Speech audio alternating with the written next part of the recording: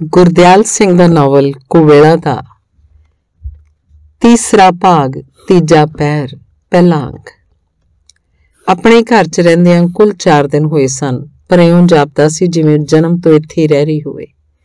ਤਿੰਨੇ ਦਿਨ ਚਾਰੇ ਹੇਠਲੇ ਕਮਰਿਆਂ ਤੇ ਚੁਬਾਰੇ ਦੀ ਸਫ਼ਾਈ ਕਰਾਉਂਦਿਆਂ, ਕਲੀ ਫਰਾਉਂਦਿਆਂ, ਉਹਨੂੰ ਇਉਂ ਲੱਗਿਆ ਸੀ ਜਿਵੇਂ ਆਪਣਾ ਨਵਾਂ ਘਰ ਵਸਾਉਣ ਲੱਗੀ ਹੋਵੇ। ਘਰ ਦਾ ਹਰ ਖੁੰਝਾ, ਵਿਹੜਾ, ਵਰਾਂਡੇ, ਚੁਬਾਰੇ ਦੀਆਂ ਅਲਮਾਰੀਆਂ, ਖਿੜਕੀਆਂ ਹਰੇ ਲਾਲ ਤੇ ਨੀਲੇ ਸ਼ੀਸ਼ਿਆਂ ਵਾਲੇ ਰੋਸ਼ਨਦਾਨ ਤੇ ਬੂਹੇ। ਬੂਹਿਆਂ ਦੀਆਂ ਪੁਰਾਣੇ ਢੰਗ ਦੀਆਂ ਡਾਟਾਂ ਸਭ ਉਹਦੇ ਲਈ ਇਉਂ ਸਨ ਜਿਵੇਂ ਉਹਨਾਂ ਨਾਲ ਧੁਰਾਂ ਦੀ ਸਾਂਝ ਹੋਵੇ। ਚੁਬਾਰਾ ਉਸ ਬੜੇ ਚਾਅ ਨਾਲ ਸਜਾਇਆ। ਭਰਾ ਜੀ ਦੇ ਘਰ ਵਾਲੇ ਆਪਣੇ ਕਮਰੇ ਦੀ ਦਰੀ ਉਸ ਹੇਠ ਵਿਛਾ ਲਈ। ਇੱਕ ਖੁੰਝੇ ਆਪਣਾ ਆਸਣ ਵੀ ਲਾ ਲਿਆ। ਸਰਾਣੇ ਵੱਲ ਦੀ ਅਲਮਾਰੀ 'ਚ ਸਾਰੀਆਂ ਧਾਰਮਿਕ ਪੁਸਤਕਾਂ ਚਿਣ ਕੇ ਜੰਦਰਾ ਲਾ ਦਿੱਤਾ। ਕੱਪੜਿਆਂ ਵਾਲੇ ਟਰੰਕ ਇੱਕ ਖੁੰਝੇ ਟਿਕਾ ਦਿੱਤੇ ਤੇ ਸਭ ਠੀਕ ਠਾਕ ਹੋ ਗਿਆ ਲੱਗਿਆ। ਪਰ ਥਕੇਵੇਂ ਨਾਲ ਉਹਦੇ ਹੱਡ ਪੈਰ ਟੁੱਟਣ ਲੱਗ ਪਏ ਸੀ। ਅੱਖਾਂ ਮੱਲੋ ਮੱਲੀ ਮਿਚਦੀਆਂ ਜਾਂਦੀਆਂ ਸੀ, ਪਰ ਰਸੋਈ 'ਚ ਸੁੱਤੀ ਸੁਰਤੀ ਦਾਦੀ ਦੀ ਖੰਘ ਨਾਲ ਮਨ ਕਾਲਾ ਪੈ ਕੇ ਨੀਂਦ ਟੁੱਟ ਜਾਂਦੀ ਸੀ। ਤਿੰਨ ਚਾਰ ਵਾਰੀ ਇਉਂ ਹੋਣ ਮਗਰੋਂ ਅੱਖਾਂ 'ਚ ਆਈ ਖੁਮਾਰੀ ਜਿਵੇਂ ਉੱਡ-ਪੁੱਡ ਗਈ ਤੇ ਉੱਠ ਕੇ ਦੋ ਸਰਾਣੇ ਕੰਧ ਨਾਲ ਰੱਖਦਿਆਂ ਢੋ ਲਾ ਕੇ ਬਹਿ ਗਈ। ਮਨ ਸੋਚੀ ਪਿਆ ਤਾਂ ਪਹਿਲਾਂ ਵੱਡੇ ਭਰਾ ਜੀ ਦਾ ਖਿਆਲ ਆਇਆ ਤੇ ਫਿਰ ਛੋਟੇ ਦਾ। ਅੱਖਾਂ ਕਾਰਨ ਹੀ ਸਿੱਲੀਆਂ ਹੋ ਗਈਆਂ। ਪਰ ਇਉਂ ਅੱਖਾਂ ਗਿੱਲੀਆਂ ਹੋਣਾ ਬਦਸ਼ਗਨੀ ਜਾਪੀ ਤੇ ਉਸੇ ਵੇਲੇ ਸਾੜੀ ਦੇ ਪੱਲੇ ਨਾਲ ਹੰਝੂ ਪੂੰਝ ਦਿੱਤੇ। ਮਦਨ ਮੋਹਨ ਇੱਕ ਸਰਕਾਰੀ ਹਸਪਤਾਲ 'ਚ ਡਾਕਟਰ ਸੀ। ਵਰੇ ਛਿਮਾਈ ਮਿਲਣ ਆਉਂਦਾ ਤਾਂ ਹੀਰਾ ਦੇਵੀ ਨੂੰ ਮੱਲੋ ਮੱਲੀ ਕੁਝ ਦਿਨ ਆਪਣੇ ਨਾਲ ਲੈ ਜਾਂਦਾ। ਹਫਤਾ 10 ਦਿਨ ਕੋਲ ਰੱਖ ਵੀ ਲੈਂਦਾ। ਆਪਣੇ ਹੋਣ ਵਾਲੇ ਸ਼ਹਿਰ ਉਹਨੇ ਤਿੰਨ ਵਾਰ ਉਹਨੂੰ ਧਿੰਗੋ ਜੋਰੀ ਕੁਝ ਫਿਲਮਾਂ ਵੀ ਵਿਖਾ ਦਿੱਤੀਆਂ ਸੀ। ਸਾਰੇ ਟੱਬਰ ਟੱਬਰ ਸਣੇ ਸੈਰ ਨੂੰ ਜਾਂਦਾ ਸੀ। ਬਾਜ਼ਾਰ ਵੀ ਲੈ ਜਾਂਦਾ ਸੀ। ਇਸ ਵਾਰੀ ਤਾਂ ਕਿਸੇ ਪਹਾੜੀ ਸ਼ਹਿਰ ਲੈ ਜਾਣ ਦੀਆਂ ਵਿਉਂਤਾਂ ਵੀ ਬਣਾਈ ਫਿਰਦਾ ਸੀ। ਉਹਦੀ ਪਤਨੀ ਉਸ ਨਾਲੋਂ ਵੀ ਖੁੱਲੇ ਸੁਭਾਅ ਦੀ ਸੀ। ਸ਼ਾਇਦ ਦੂਰ ਦੇ ਢੋਲ ਸੁਹਾਣੇ ਵਾਲੀ ਗੱਲ ਸੀ ਕਿ ਜਦੋਂ ਹੀਰਾ ਦੇਵੀ ਕੁਝ ਦਿਨ ਜਾਂਦੀ ਤਾਂ ਭਰਜਾਈ ਲਈ ਜਿਵੇਂ ਚੰਨ ਚੜ ਜਾਂਦਾ। ਸਾਰਾ ਦਿਨ ਅੱਗੇ ਪਿੱਛੇ ਫਿਰਦਿਆਂ ਉਹਦਾ ਚਾਹ ਕਿਤੇ ਮਿਉਂਦਾ ਨਹੀਂ ਸੀ। ਬੀਬੀ ਬੀਬੀ ਕਹਿੰਦੀ ਦੀ ਜੀਬ ਨਹੀਂ ਸੀ ਥੱਕਦੀ ਤੇ ਉਹਦੇ ਤਿੰਨੇ ਨਿਆਣੇ ਤਾਂ ਉਹਦੇ ਕਮਰੇ 'ਚ ਕਿਸੇ ਵੇਲੇ ਬਾਹਰ ਹੀ ਨਹੀਂ ਸਿਨ ਜਾਂਦੇ। ਸਭ ਤੋਂ ਅਲੋਕਾਰ ਗੱਲ ਉਹਦੀ ਇਹ ਲੱਗਦੀ ਸੀ ਕਿ ਉਹ ਆਪ ਤਾਂ ਕਦੇ ਮੰਦਰ ਨਹੀਂ ਸੀ ਜਾਂਦੀ, ਪਰ ਹੀਰਾ ਦੇਵੀ ਲਈ ਉਹਨੇ ਇੱਕ ਅਲਮਾਰੀ 'ਚ ਪੂਜਾ ਪਾਠ ਲਈ ਮੂਰਤੀਆਂ ਸਜਾ ਕੇ ਰੱਖੀਆਂ ਸੀ। ਉਹਦੇ ਜਾਣ ਤੋਂ ਪਹਿਲਾਂ ਹੀ ਪੂਜਾ ਦੀ ਸਾਰੀ ਸਮੱਗਰੀ ਮੰਗਾ ਕੇ ਰੱਖ ਦਿੰਦੀ। ਹੋਰ ਉਹਦੀ ਲੋੜ ਅਨੁਸਾਰ ਕਮਰੇ 'ਚ ਆਸਣ ਆਦਿ ਵੀ ਲਵਾ ਦਿੰਦੀ। ਤੇ ਉਹਨਾਂ ਦੋਹਾਂ ਨੇ ਇਸ ਘਰ ਵੰਡਣ ਦੇ ਮਾਮਲੇ 'ਚ ਜਿਹੜੀ ਦਲੇਰੀ ਵਿਖਾਈ ਸੀ, ਉਹਦੇ ਸਦਕਾ ਤਾਂ ਹੀਰਾ ਦੇਵੀ ਦੀਆਂ ਅੱਖਾਂ ਹੁਣ ਰੋਕਦਿਆਂ ਵੀ ਮੁੜ-ਮੁੜ ਉੱਛਲ ਆਉਂਦੀਆਂ ਸੀ। ਵੱਡੇ ਭਰਾ ਜੀ ਤੇ ਭਰਜਾਈ ਨੇ ਤਾਂ ਦੋ ਦਿਨ ਗੱਲ ਦਾ ਕੋਈ ਮੂੰਹ ਸਿਰ ਹੀ ਨਹੀਂ ਬਣਨ ਦਿੱਤਾ। ਪਰ ਇਹਨਾਂ ਆਉਂਦਿਆਂ ਹੀ ਗੱਲ ਨਿਬੇੜਤੀ। ਪੁਰਾਣੇ ਘਰ ਦੇ ਦੋ ਹਿੱਸੇ ਪਾਏ। ਇੱਕ ਨਵੇਂ ਦਾ, ਜਿਹੜਾ ਪੁਰਾਣਾ ਢਾ ਕੇ ਵੱਡੇ ਭਰਾ ਜੀ ਨੇ ਆਪਣੀ ਕਮਾਈ ਨਾਲ ਬਣਾਇਆ ਸੀ। ਆਪਣੇ ਤੇ ਹੀਰਾ ਦੇਵੀ ਦੇ ਦੋਹਾਂ ਹਿੱਸਿਆਂ 'ਚ ਪੁਰਾਣਾ ਘਰ ਟਿਕ ਲਿਆ ਤੇ ਆਪਣਾ ਹਿੱਸਾ ਵੀ ਉਹਨੂੰ ਦੇਣ ਦਾ ਫੈਸਲਾ ਵੱਡੇ ਭਰਾ ਜੀ ਦੇ ਸਾਹਮਣੇ ਹੀ ਦੱਸ ਦਿੱਤਾ। ਫਿਰ ਆਪੇ ਹੀ ਕਿਰਾਏਦਾਰਾਂ ਕੋਲੋਂ ਘਰ ਖਾਲੀ ਕਰਵਾਇਆ। ਸਧਾਰਨ ਜੇ ਢੰਗ ਨਾਲ ਸਾਰਾ ਕੰਮ ਨਿਬੇੜ ਕੇ ਤੀਜੇ ਦਿਨ ਦੋਵੇਂ ਪਤੀ ਪਤਨੀ ਹੱਸਦੇ ਖੇਡਦੇ ਇਉਂ ਤੁਰ ਗਏ ਜਿਵੇਂ ਬਸ ਮਿਲਣ ਗਿਲਣ ਹੀ ਆਏ ਸੀ। ਜੇ ਬੀਬੀ ਹਸਪਤਾਲ ਜ਼ਰੂਰ ਹੀ ਖੋਲਣਾ ਤਾਂ ਮੈਂ ਇੱਕ ਬਹੁਤ ਚੰਗਾ ਡਾਕਟਰ ਲੱਭਦੀ ਹਾਂ। ਉਸ ਜਾਣ ਤੋਂ ਪਹਿਲਾਂ ਗੱਲਾਂ ਕਰਦਿਆਂ ਹੱਸਦਿਆਂ ਬੜੀ ਖੁੱਲ੍ਹ ਖੁੱਲ੍ਹਦਿਲੀ ਨਾਲ ਕਿਹਾ, ਭਰਾ ਜੀ ਨੇ ਅਜੇ ਕੰਮ 'ਚ ਮਦਦ ਨਹੀਂ ਕਰਨੀ, ਕਾਰੋਬਾਰੀ ਮਾਮਲਾ ਹੈ ਨਾ ਉਹਨਾਂ ਦਾ। ਫਿਰ ਖੜਾ ਖੜਾ ਕੇ ਹੱਸਣ ਪਿੱਛੋਂ ਇੱਕਦਮ ਗੰਭੀਰ ਹੋ ਕੇ ਬੋਲੇ, ਪਰ ਹਸਪਤਾਲ ਨਾਲੋਂ ਸਕੂਲ ਕਿਉਂ ਨਾ ਖੋਲ ਲਓ? ਮਨ ਪਰਚਾਨ ਦੀ ਗੱਲ ਹੈ ਨਾ, ਇਹ ਚੰਗਾ ਹੈ। ਹੀਰਾ ਦੇਵੀ ਨੂੰ ਉਦੋਂ ਉਹਦੀ ਗੱਲ ਉਪਰੀ ਲੱਗੀ ਤੇ ਮਨ ਪਰਚਾਉਣ ਵਾਲੀ ਤਾਂ ਭੈੜੀ ਵੀ ਲੱਗੀ, ਪਰ ਹੁਣ ਉਹ ਸਭ ਗੱਲਾਂ ਸਧਾਰਨ ਲੱਗਦੀਆਂ। ਆਪਣੇ ਭਰਾ ਨੂੰ ਦੇਵਤਾ ਲੱਗਦਾ ਸੀ। ਇਹਦੀਆਂ ਉਹ ਗੱਲਾਂ ਵੀ ਮੁੜ-ਮੁੜ ਯਾਦ ਆ ਰਹੀਆਂ ਸੀ, ਜੋ ਉਹਨੇ ਉਹਦੇ ਵਿਧਵਾ ਹੋ ਜਾਣ ਪਿੱਛੋਂ ਕਹੀਆਂ ਸੀ। ਉਹਨਾਂ ਵਿੱਚ ਸਭ ਤੋਂ ਉੱਪਰੀ ਜੀ ਗੱਲ ਉਹਨੇ ਉਹਨੇ ਹੀ ਕਹੀ ਸੀ ਕਿ ਦੂਜਾ ਵਿਆਹ ਕਰਵਾ ਲਏ ਹੋਰ ਕਿਸੇ ਦਾ ਤਾਂ ਉਹਦੀ ਇਸ ਗੱਲ ਦੀ ਪ੍ਰੋੜਤਾ ਕਰਨ ਦਾ ਹੌਸਲਾ ਨਹੀਂ ਸੀ ਪਿਆ, ਪਰ ਉਹਨੇ ਇਸ ਤੋਂ ਵੀ ਅੱਗੇ ਵੱਧ ਕੇ ਹੀਰਾ ਦੇਵੀ ਨੂੰ ਆਪਣੇ ਇੱਕ ਮਿੱਤਰ ਬਾਰੇ ਵੀ ਦੱਸਦਾ ਸੀ। ਕੁਝ ਦਿਨ ਪਿੱਛੋਂ ਵੀ ਦੱਸਦਾ ਸੀ ਕਿ ਉਹ ਮਿੱਤਰ ਉਸ ਨਾਲ ਵਿਆਹ ਕਰਵਾਉਣ ਲਈ ਤਿਆਰ ਸੀ।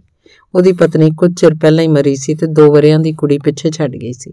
ਪਰ ਹੀਰਾ ਦੇਵੀ ਨੇ ਤਾਂ ਆਪਣਾ ਰਾਹ ਚੁਣ ਲਿਆ ਸੀ। ਇਸ ਕਰਕੇ ਉਹਨੂੰ ਇਹ ਗੱਲ ਮਗਰੋਂ ਬੁਰੀ ਵੀ ਲੱਗਦੀ ਰਹੀ ਸੀ। ਤੇ ਜਦੋਂ ਖਿਆਲਾਂ ਦੀ ਦੁਨੀਆ ਚੋਂ ਨਿਕਲ ਕੇ ਉਹਨੇ ਸਾਹਮਣੇ ਵਾਲੇ ਰੋਸ਼ਨਦਾਨ ਵੱਲ ਤੱਕਿਆ, ਉੱਥੇ ਚਿੜੀ ਨੇ ਮੁੜ ਕਿੰਨੇ ਸਾਰੇ ਤੀਲੇ ਇਕੱਠੇ ਕਰ ਲਏ ਸਨ। ਅਜੇ ਕੱਲ ਇੱਥੋਂ ਪੁਰਾਣੇ ਆਲਣੇ ਬਾਹਰ ਸੁਟਵਾਏ ਸੀ। ਉਹਦੇ ਵਹਿੰਦਿਆਂ ਵਹਿੰਦਿਆਂ ਹੀ ਪਹਿਲਾਂ ਚਿੜਾ ਇੱਕ ਸੂਤਲੀ ਦਾ ਟੋਟਾ ਧਰ ਗਿਆ ਤੇ ਪਿੱਛੋਂ ਚਿੜੀ ਦੋ ਕੁ ਧਾਗਿਆਂ 'ਚ ਉਲਝਿਆ, ਇੱਕ ਤੀਲਾ ਲੈ ਆਈ। ਉਹਨੂੰ ਪਹਿਲਾਂ ਵਾਲੇ ਤੀਲਿਆਂ ਉੱਤੇ ਰੱਖ ਕੇ ਸਾਰਿਆਂ ਨੂੰ ਹੀ ਠੀਕ ਕਰਨ ਲੱਗ ਪਈ। ਉਹਦੀ ਚੁੰਝ ਭੁੰਜੇ ਵੱਜਣ ਤੇ ਤੀਲੀਆਂ ਦੇ ਇੱਧਰ ਉੱਧਰ ਸਰਕਣ ਦੇ ਅਜੀਬ ਜੇ ਖੜਾਕ ਨਾਲ ਹੀਰਾ ਦੇਵੀ ਦਾ ਮਨ ਕਾਲਾ ਪੈਣ ਲੱਗ ਪਿਆ। ਤੇ ਜਦੋਂ ਚਿੜਾ ਇੱਕ ਸੁਤਲੀ ਹੋਰ ਲੈ ਕੇ ਆਇਆ ਤਾਂ ਚਿੜੀ ਨੇ ਜਿਵੇਂ ਅਗਾਹ ਵੱਧ ਕੇ ਉਸ ਕੋਲੋਂ ਫੜ ਲਈ। ਤਾਂ ਚਿਰ ਚਿਰ ਕਰਦਿਆਂ ਉਸ ਵੇਲੇ ਪਰਤ ਗਿਆ। ਚਿੜੀ ਆਪਣੇ ਆਰ ਲੱਗ ਗਈ ਸੀ। ਉਹਦੇ ਚਿੱਤ ਦੀ ਕਾਲ ਹੋਰ ਵਧੀ ਤੇ ਉਹ ਲੇਟ ਨਹੀਂ ਸਕੀ। ਉੱਠ ਕੇ ਰਸੋਈ ਵੱਲ ਚਲੀ ਗਈ। ਉੱਥੋਂ ਦਾਦੀ ਸੁਰਤੀ ਥੱਕ ਟੁੱਟ ਕੇ ਘੂਕ ਸੁੱਤੀ ਪਈ ਸੀ। ਜਗਾਉਣ ਨੂੰ ਦਿਲ ਨਹੀਂ ਕੀਤਾ ਤੇ ਅਗਾਹ ਹੋ ਕੇ ਆਪੇ ਹੀ ਤੋੜੇ ਚੋਂ ਗਲਾਸ ਭਰ ਕੇ ਬਾਹਰ ਆਈ ਤੇ ਓਕ ਨਾਲ ਪਾਣੀ ਪੀ ਕੇ ਮੁੜੋ ਨੂੰ ਤੋੜੇ ਕੋਲ ਰੱਖ ਆਈ। ਇਸ ਤੋਂ ਪਿੱਛੋਂ ਹੇਠਾਂ ਆ ਗਈ। ਨੰਗੇ ਪੈਰੀ ਨਰੋਈਆਂ ਕੰਧਾਂ ਵਾਲੇ ਵੱਡੇ ਕਮਰਿਆਂ ਦੇ ਚੌੜੇ ਥੰਮਾਂ ਵਾਲੇ ਵਰਾਂਡਿਆਂ 'ਚ ਘੁੰਮਦੀ ਰਹੀ। ਫਿਰ ਬਾਹਰ ਆ ਕੇ ਵਿਹੜੇ ਨੂੰ ਜਾਂਚਿਆ ਤਾਂ ਮਨ ਨੂੰ ਤਸੱਲੀ ਹੋਈ। ਵਿਹੜਾ ਬਹੁਤਾ ਹੀ ਖੁੱਲਾ ਸੀ। ਅਗਲੀਆਂ ਦੋ ਬੈਠਕਾਂ ਵੀ ਪਿਛਲੇ ਕਮਰਿਆਂ ਨਾਲੋਂ ਵੱਡੀਆਂ ਸੀ। ਇਹਨਾਂ ਦੇ ਪੁਰਾਣੇ ਬੀਨੀਆਂ ਵਾਲੇ ਬੂਹੇ, ਚੌੜੀਆਂ ਨਰੋਈਆਂ ਸੰਗਲੀ ਕੁੰਡੇ ਤੇ ਬੈਠੀਆਂ ਡਾਂਟਾਂ ਨੂੰ, ਡਾਟਾਂ ਨੂੰ ਵੇਂਦਿਆਂ ਐਂ ਲੱਗਿਆ ਜਿਵੇਂ ਕੋਈ ਪੁਰਾਣਾ ਕਿਲਾ ਹੋਵੇ। ਕੁਝ ਚਿਰ ਪਿੱਛੋਂ ਜਦੋਂ ਸਾਰੇ ਅੰਦਰ ਬਾਹਰ ਫਿਰ ਕੇ ਹਰ ਥਾਂ ਜਾਂਚ ਕੇ ਮੁੜ ਕੋਠੇ ਤੇ ਆਏ, ਤਾਂ ਆਪਣੇ ਨੰਗੇ ਪੈਰਾਂ ਨੂੰ ਲੱਗਿਆ ਘਰ ਦੀਆਂ ਫਰਸ਼ਾਂ ਦਾ ਰੇਤਾ, ਬੂਹੇ ਅੱਗੇ ਰੱਖੀ ਬੋਰੀ ਉੱਤੇ ਪੁੰਝਣ ਲੱਗਿਆ ਉਹਦੇ ਮਨ 'ਚ ਆਪਣੇ ਘਰ ਦਾ ਅਦਭੁਤ ਅਹਿਸਾਸ ਹੋਇਆ ਤੇ ਪੈਰਾਂ ਨੂੰ ਚੰਗੀ ਤਰ੍ਹਾਂ ਸਾਫ਼ ਕੀਤੇ ਬਿਨਾਂ ਹੀ ਪੁੰਜੇ ਵਿਛਾਏ ਬਿਸਤਰੇ ਦੀ ਚਾਦਰ ਤੇ ਜਾ ਚੜੀ। ਚਿੱਟੀ ਚਾਦਰ ਉੱਤੇ ਪੈਰਾਂ ਦੀਆਂ ਉਂਗਲਾਂ ਪੱਥ ਪੱਥ ਤੇ ਅੱਡੀਆਂ ਦੇ ਨਿਸ਼ਾਨ ਪੈ ਗਏ। ਸਰਾਣਿਆਂ ਨਾਲ ਢੋਲ ਆਉਂਦਿਆਂ ਕਈ ਵਾਰ ਇਹਨਾਂ ਨਿਸ਼ਾਨਾਂ ਨੂੰ ਵੇਖਿਆ ਪਰ ਸਾਫ਼ ਨਹੀਂ ਕੀਤੇ। ਅੱਖਾਂ ਨੂੰ ਖੁਮਾਰ ਜਿਹਾ ਚੜਨ ਲੱਗ ਪਿਆ ਤੇ ਮੱਲੋ ਮੱਲੀ ਮਿਚਣ ਲੱਗ ਪਈਆਂ। ਚਿੜੀ ਅਜੇ ਉਵੇਂ ਤੀਲੇ ਸਰਕਾ ਸਰਕਾ ਕੇ ਠੀਕ ਕਰ ਰਹੀ ਸੀ ਤੇ ਉਹਨਾਂ ਦੀ ਸਰਸਰਾਹਟ ਵਿੱਚੋਂ ਸੰਗੀਤ ਦੀ ਤਾਲ ਵਰਗੀ ਇੱਕ ਸੁਰਤਾ ਨਾਲ ਮਨ ਟਿਕਾਣੇ ਆਉਂਦਾ ਗਿਆ ਤੇ ਫਿਰ ਨੀਂਦ ਆ ਗਈ। ਕਿੰਨੇ ਚਿਰ ਪਿੱਛੋਂ ਜਦੋਂ ਦਾਦੀ ਸੁਰਤੀ ਨੇ ਆ ਕੇ ਉਹਨੂੰ ਜਗਾਇਆ ਤਾਂ ਉਹ ਸੁਪਨਿਆਂ ਦੀ ਦੁਨੀਆ 'ਚੋਂ ਬੜਵਾਈ ਜਾਗੀ ਉਹਦਾ ਕੱਚ ਦਾ ਮਹਿਲ ਟੁੱਟ ਗਿਆ ਐਨਕ ਲਾਉਣ ਤੋਂ ਪਹਿਲਾਂ ਅੱਖਾਂ ਮਸਲੀਆਂ। ਲੰਮਾ ਹੌਕਾ ਭਰ ਕੇ ਹਿੱਕ ਹੌਲੀ ਕਰਦਿਆਂ ਸੁਰਤੀ ਨੂੰ ਪੁੱਛਿਆ, ਚਾਹ ਬਣ ਗਈ ਦਾਦੀ? ਕਹਿ ਬਾਰੀ ਤੋਂ ਮੰਨੇ ਪੁੱਛ ਲਿਆ ਬੀਬੀ ਜੀ। ਕਿਤਨੀ ਦੇਰ ਤੋਂ ਬਣੀ ਪੜੀ ਸੈ, ਯਾਈ ਤੋਂ ਥਾਨੇ? ਪੁੱਛ ਗਈ ਸੂ, ਦਾਦੀ ਮੁਸਕਰਾ ਰਹੀ ਸੀ। ਉਹਨੂੰ ਵੀ ਆਪਣੀ ਮੁਰਖਤਾ ਤੇ ਹਾਸੀ ਆ ਗਈ। ਚਾਹ ਪੀਂਦਿਆਂ ਫਿਰ ਸਾਹਮਣੇ ਵੇਖਿਆ ਚਿੜੀ ਅਜੇ ਵੀ ਆਲਣਾ ਬਣਾਉਣ ਚ ਰੁੱਝੀ ਹੋਈ ਸੀ। ਉਹਨੇ ਅੱਧੇ ਨਾਲੋਂ ਵਧੇਕ ਕੰਮ ਨਿਬੇੜ ਲਿਆ ਸੀ ਤੇ ਮਣਕਿਆਂ ਵਰਗੀਆਂ ਅੱਖਾਂ ਭੁਆਉਂਦਿਆਂ ਉਸ ਕੁਝ ਚਿਰ ਇੱਧਰ ਉੱਧਰ ਤੱਕਿਆ, ਸ਼ਾਇਦ ਚਿੜੇ ਦੀ ਉਡੀਕ ਕਰਦੀ ਸੀ, ਪਰ ਜਦੋਂ ਹੋਰ ਬਿੰਦ ਕੋ ਨਹੀਂ ਆਇਆ ਤਾਂ ਚਿਰਚਿਰ ਕਰਦੀ ਬਾਹਰ ਉੱਡ ਗਈ। ਚਾਹ ਅੱਜ ਦਾਦੀ ਨੇ ਬੜੀ ਸਵਾਦ ਬਣਾਈ ਸੀ, ਜੀ ਕੀਤਾ ਪੁੱਛੇ ਕਿ ਇਸ ਵਿੱਚ ਕੀ ਪਾਇਆ। ਬੜੀ ਭਿੰਨੀ ਭਿੰਨੀ ਸੁਗੰਧ ਆ ਰਹੀ ਸੀ। ਪੀਂਦਿਆਂ ਪੀਂਦਿਆਂ ਸੱਚੀ ਖੁਮਾਰੀ ਜੀ ਮਹਿਸੂਸ ਹੋਈ ਤੇ ਦਿਮਾਗ ਤਿੱਖਾ ਹੋ ਕੇ ਮਲਕੜੇ ਜੇ ਕਈ ਹਰਿਆਲੀਆਂ ਪਗਡੰਡੀਆਂ ਉੱਤੇ ਤੁਰ ਪਿਆ। ਥਮੇ ਆਜ ਮੰਦਰ ਨਹੀਂ ਜਾਊਗੀ ਬੀਬੀ ਜੀ? ਭਾਂਡੇ ਚੁੱਕਣ ਆਈ ਸੁਰਤੀ ਨੇ ਗੰਭੀਰਤਾ ਨਾਲ ਪੁੱਛਿਆ। ਉਹ ਚੁੱਪ ਕਰ ਗਈ। ਫਿਰ ਜਿਵੇਂ ਫੈਸਲਾ ਜਿਹਾ ਕਰਦਿਆਂ ਬੋਲੀ, ਦਾਦੀ, ਤੂੰ ਜਾਏਂਗੀ ਤਾਂ ਪੰਡਤ ਜੀ ਨੂੰ ਕਹਿ ਦੇ ਕਿ ਅੱਜ ਮੈਥੋਂ ਨਹੀਂ ਆਇਆ ਜਾਣਾ। ਸ਼ਾਇਦ ਸਵੇਰੇ ਵੀ ਨਾ ਆ ਸਕਾਂ, ਉਡੀਕ ਨਾ ਕਰਨ। ਦਾਦੀ ਸੁਰਤੀ ਨੂੰ ਇਹ ਗੱਲ ਜਿਵੇਂ ਉਨੀ ਉਪਰੀ ਨਹੀਂ ਸੀ ਲੱਗੀ। ਹੁਣ ਉਹ ਅੱਛਾ ਜੀ ਕਹਿ ਕੇ ਭਾਂਡੇ ਲੈ ਗਈ। ਹੁਣ ਪੂਰੀ ਵੇਲ ਸੀ, ਮੰਦਰ ਵੀ ਨਹੀਂ ਸੀ ਜਾਣਾ, ਕਰਨ ਵਾਲਾ ਕੰਮ ਵੀ ਕੋਈ ਨਹੀਂ ਸੀ, ਪਿਆ ਵੀ ਨਹੀਂ ਸੀ ਜਾਂਦਾ। ਪਿਛਲੇ 2 ਮਹੀਨੇ ਤੋਂ ਜਦੋਂ ਦੀ ਉਹ ਹਸਪਤਾਲ ਜਾਣ ਲੱਗੀ ਸੀ, ਹੁਣ ਵਿਹਲਿਆਂ, ਲੇਟਿਆ ਵੀ ਨਹੀਂ ਸੀ ਜਾਂਦਾ। ਬਿੰਦ ਕੋ ਹੋਰ ਪਈ ਰਹੀ ਤੇ ਫਿਰ ਅਲਮਾਰੀ ਖੋਲ ਕੇ ਉਸ ਚੋਂ ਕੁਝ ਕਾਗਜ਼ ਪੱਤਰ ਕੱਢੇ, ਫੁਰੁੱਲਣ ਲੱਗ ਪਈ। ਲਿਖੇ ਕਾਗਜ਼ ਤੇ ਚਿੱਠੀਆਂ ਲੰਬੇ ਰੱਖ ਕੇ ਇੱਕ ਸਾਫ਼ ਕਾਗਜ਼ ਕੱਢ ਲਿਆ। ਮਦਨ ਮੋਹਨ ਨੂੰ ਚਿੱਠੀ ਲਿਖਣ ਲੱਗ ਪਈ, ਜਿਸ 'ਚ ਹੁਣ ਦੀ ਮਾਨਸਿਕ ਹਾਲਤ ਲਿਖ ਕੇ ਅੰਤ 'ਚ ਲਿਖਤਾ, ਮੈਨੂੰ ਤੁਹਾਡੀ ਮਦਦ ਦੀ ਬੜੀ ਲੋੜ ਹੈ, ਪਰ ਕੋਈ ਵੱਡਾ ਪਰਉਪਕਾਰੀ ਕੰਮ ਕਰਨ ਨੂੰ ਦਿਲ ਕਰਦਾ ਜੇ ਤੁਹਾਡੀ ਸਹਾਇਤਾ ਬਿਨਾਂ ਨਹੀਂ ਹੋ ਸਕਦਾ। ਜੋ ਤੁਹਾਡੀ ਸਹਾਇਤਾ ਬਿਨਾਂ ਨਹੀਂ ਹੋ ਸਕਦਾ। ਚਿੱਠੀ ਬੰਦ ਕਰਕੇ ਉਹਨੂੰ ਜਿਵੇਂ ਚਾਂਦ ਚੱਕ ਇਹ ਖਿਆਲ ਆਇਆ, ਹੈਰਾਨ ਹੋ ਕੇ ਸੋਚਦੀ ਰਹੀ, ਮੈਂ ਕਰਨਾ ਕੀ ਚਾਹੁੰਦੀ ਆ ਪਰ ਉੱਤਰ ਕੋਈ ਨਹੀਂ ਆੜਿਆ ਉਸ ਦਿਨ ਪਿੱਛੋਂ 3 ਦਿਨ ਹਸਪਤਾਲ ਵੀ ਨਹੀਂ ਗਈ। ਉਹਨੂੰ ਜਾਪਦਾ ਸੀ, ਹੁਣ ਉੱਥੇ ਉਹਦਾ ਕੋਈ ਸੀਰ ਨਹੀਂ ਸੀ ਰਹਿ ਗਿਆ। ਜਿੱਦਾਂ ਦਾ ਇਸ ਘਰ ਦਾ ਮਾਮਲਾ ਨਿਬੜਿਆ ਸੀ ਉਦੋਂ ਦੀ ਉਹਨੂੰ ਸ਼ਕਲ ਨਹੀਂ ਸੀ ਵਿਖਾਈ, ਭਰਜਾਈ ਨੇ ਤਾਂ ਆਉਣਾ ਹੀ ਨਹੀਂ ਸੀ। ਕਿਸੇ ਨਿੱਕੇ ਨਿਆਣੇ ਨੂੰ ਵੀ ਨਹੀਂ ਸੀ ਆਉਣ ਦਿੱਤਾ। ਸਾਰੇ ਸ਼ਹਿਰ 'ਚ ਇਸ ਗੱਲ ਦੀ ਚਰਚਾ ਵੀ ਕੁਝ ਇਉਂ ਫੈਲੀ ਕਿ ਹੀਰਾ ਦੇਵੀ ਨੂੰ ਆਪਣਾ ਆਪ ਹੀਣਾ ਲੱਗਣ ਲੱਗ ਪਿਆ। ਉਦੋਂ ਤੋਂ ਹੀ ਮੰਦਰ ਜਾਣ ਲੱਗਿਆ ਉਹ ਕਦੇ ਪਹਿਲੇ ਰਾਹੋਂ ਨਹੀਂ ਸੀ ਲੰਘੀ। ਪਰ ਪੰਡਿਤ ਰਾਮ ਕੁਮਾਰ ਦੀ ਉਪਰੀ ਗਲੀ 'ਚੋਂ ਲੰਘਦਿਆਂ ਵੀ ਇਉਂ ਲੱਗਦਾ ਕਿ ਸਭ ਲੋਕ ਉਸ ਵੱਲ ਤ੍ਰਿਸਕਾਰ ਦੀਆਂ ਨਜ਼ਰਾਂ ਨਾਲ ਤੱਕਦੇ ਸੀ। ਪਰ ਜਦੋਂ ਕਦੇ ਗੌਹ ਨਾਲ ਨਮਸਕਾਰ ਬੁਲਾਉਂਦੀਆਂ ਤੀਵੀਆਂ ਦੇ ਚਿਹਰਿਆਂ ਤੋਂ ਪ੍ਰਭਾਵ ਪੜਨ ਦਾ ਯਤਨ ਕਰਦੀ, ਤਾਂ ਆਪਣੀਆਂ ਸਾਰੀਆਂ ਸੋਚਾਂ ਹੀ ਭਰਮ ਜਾਪਦੀਆਂ।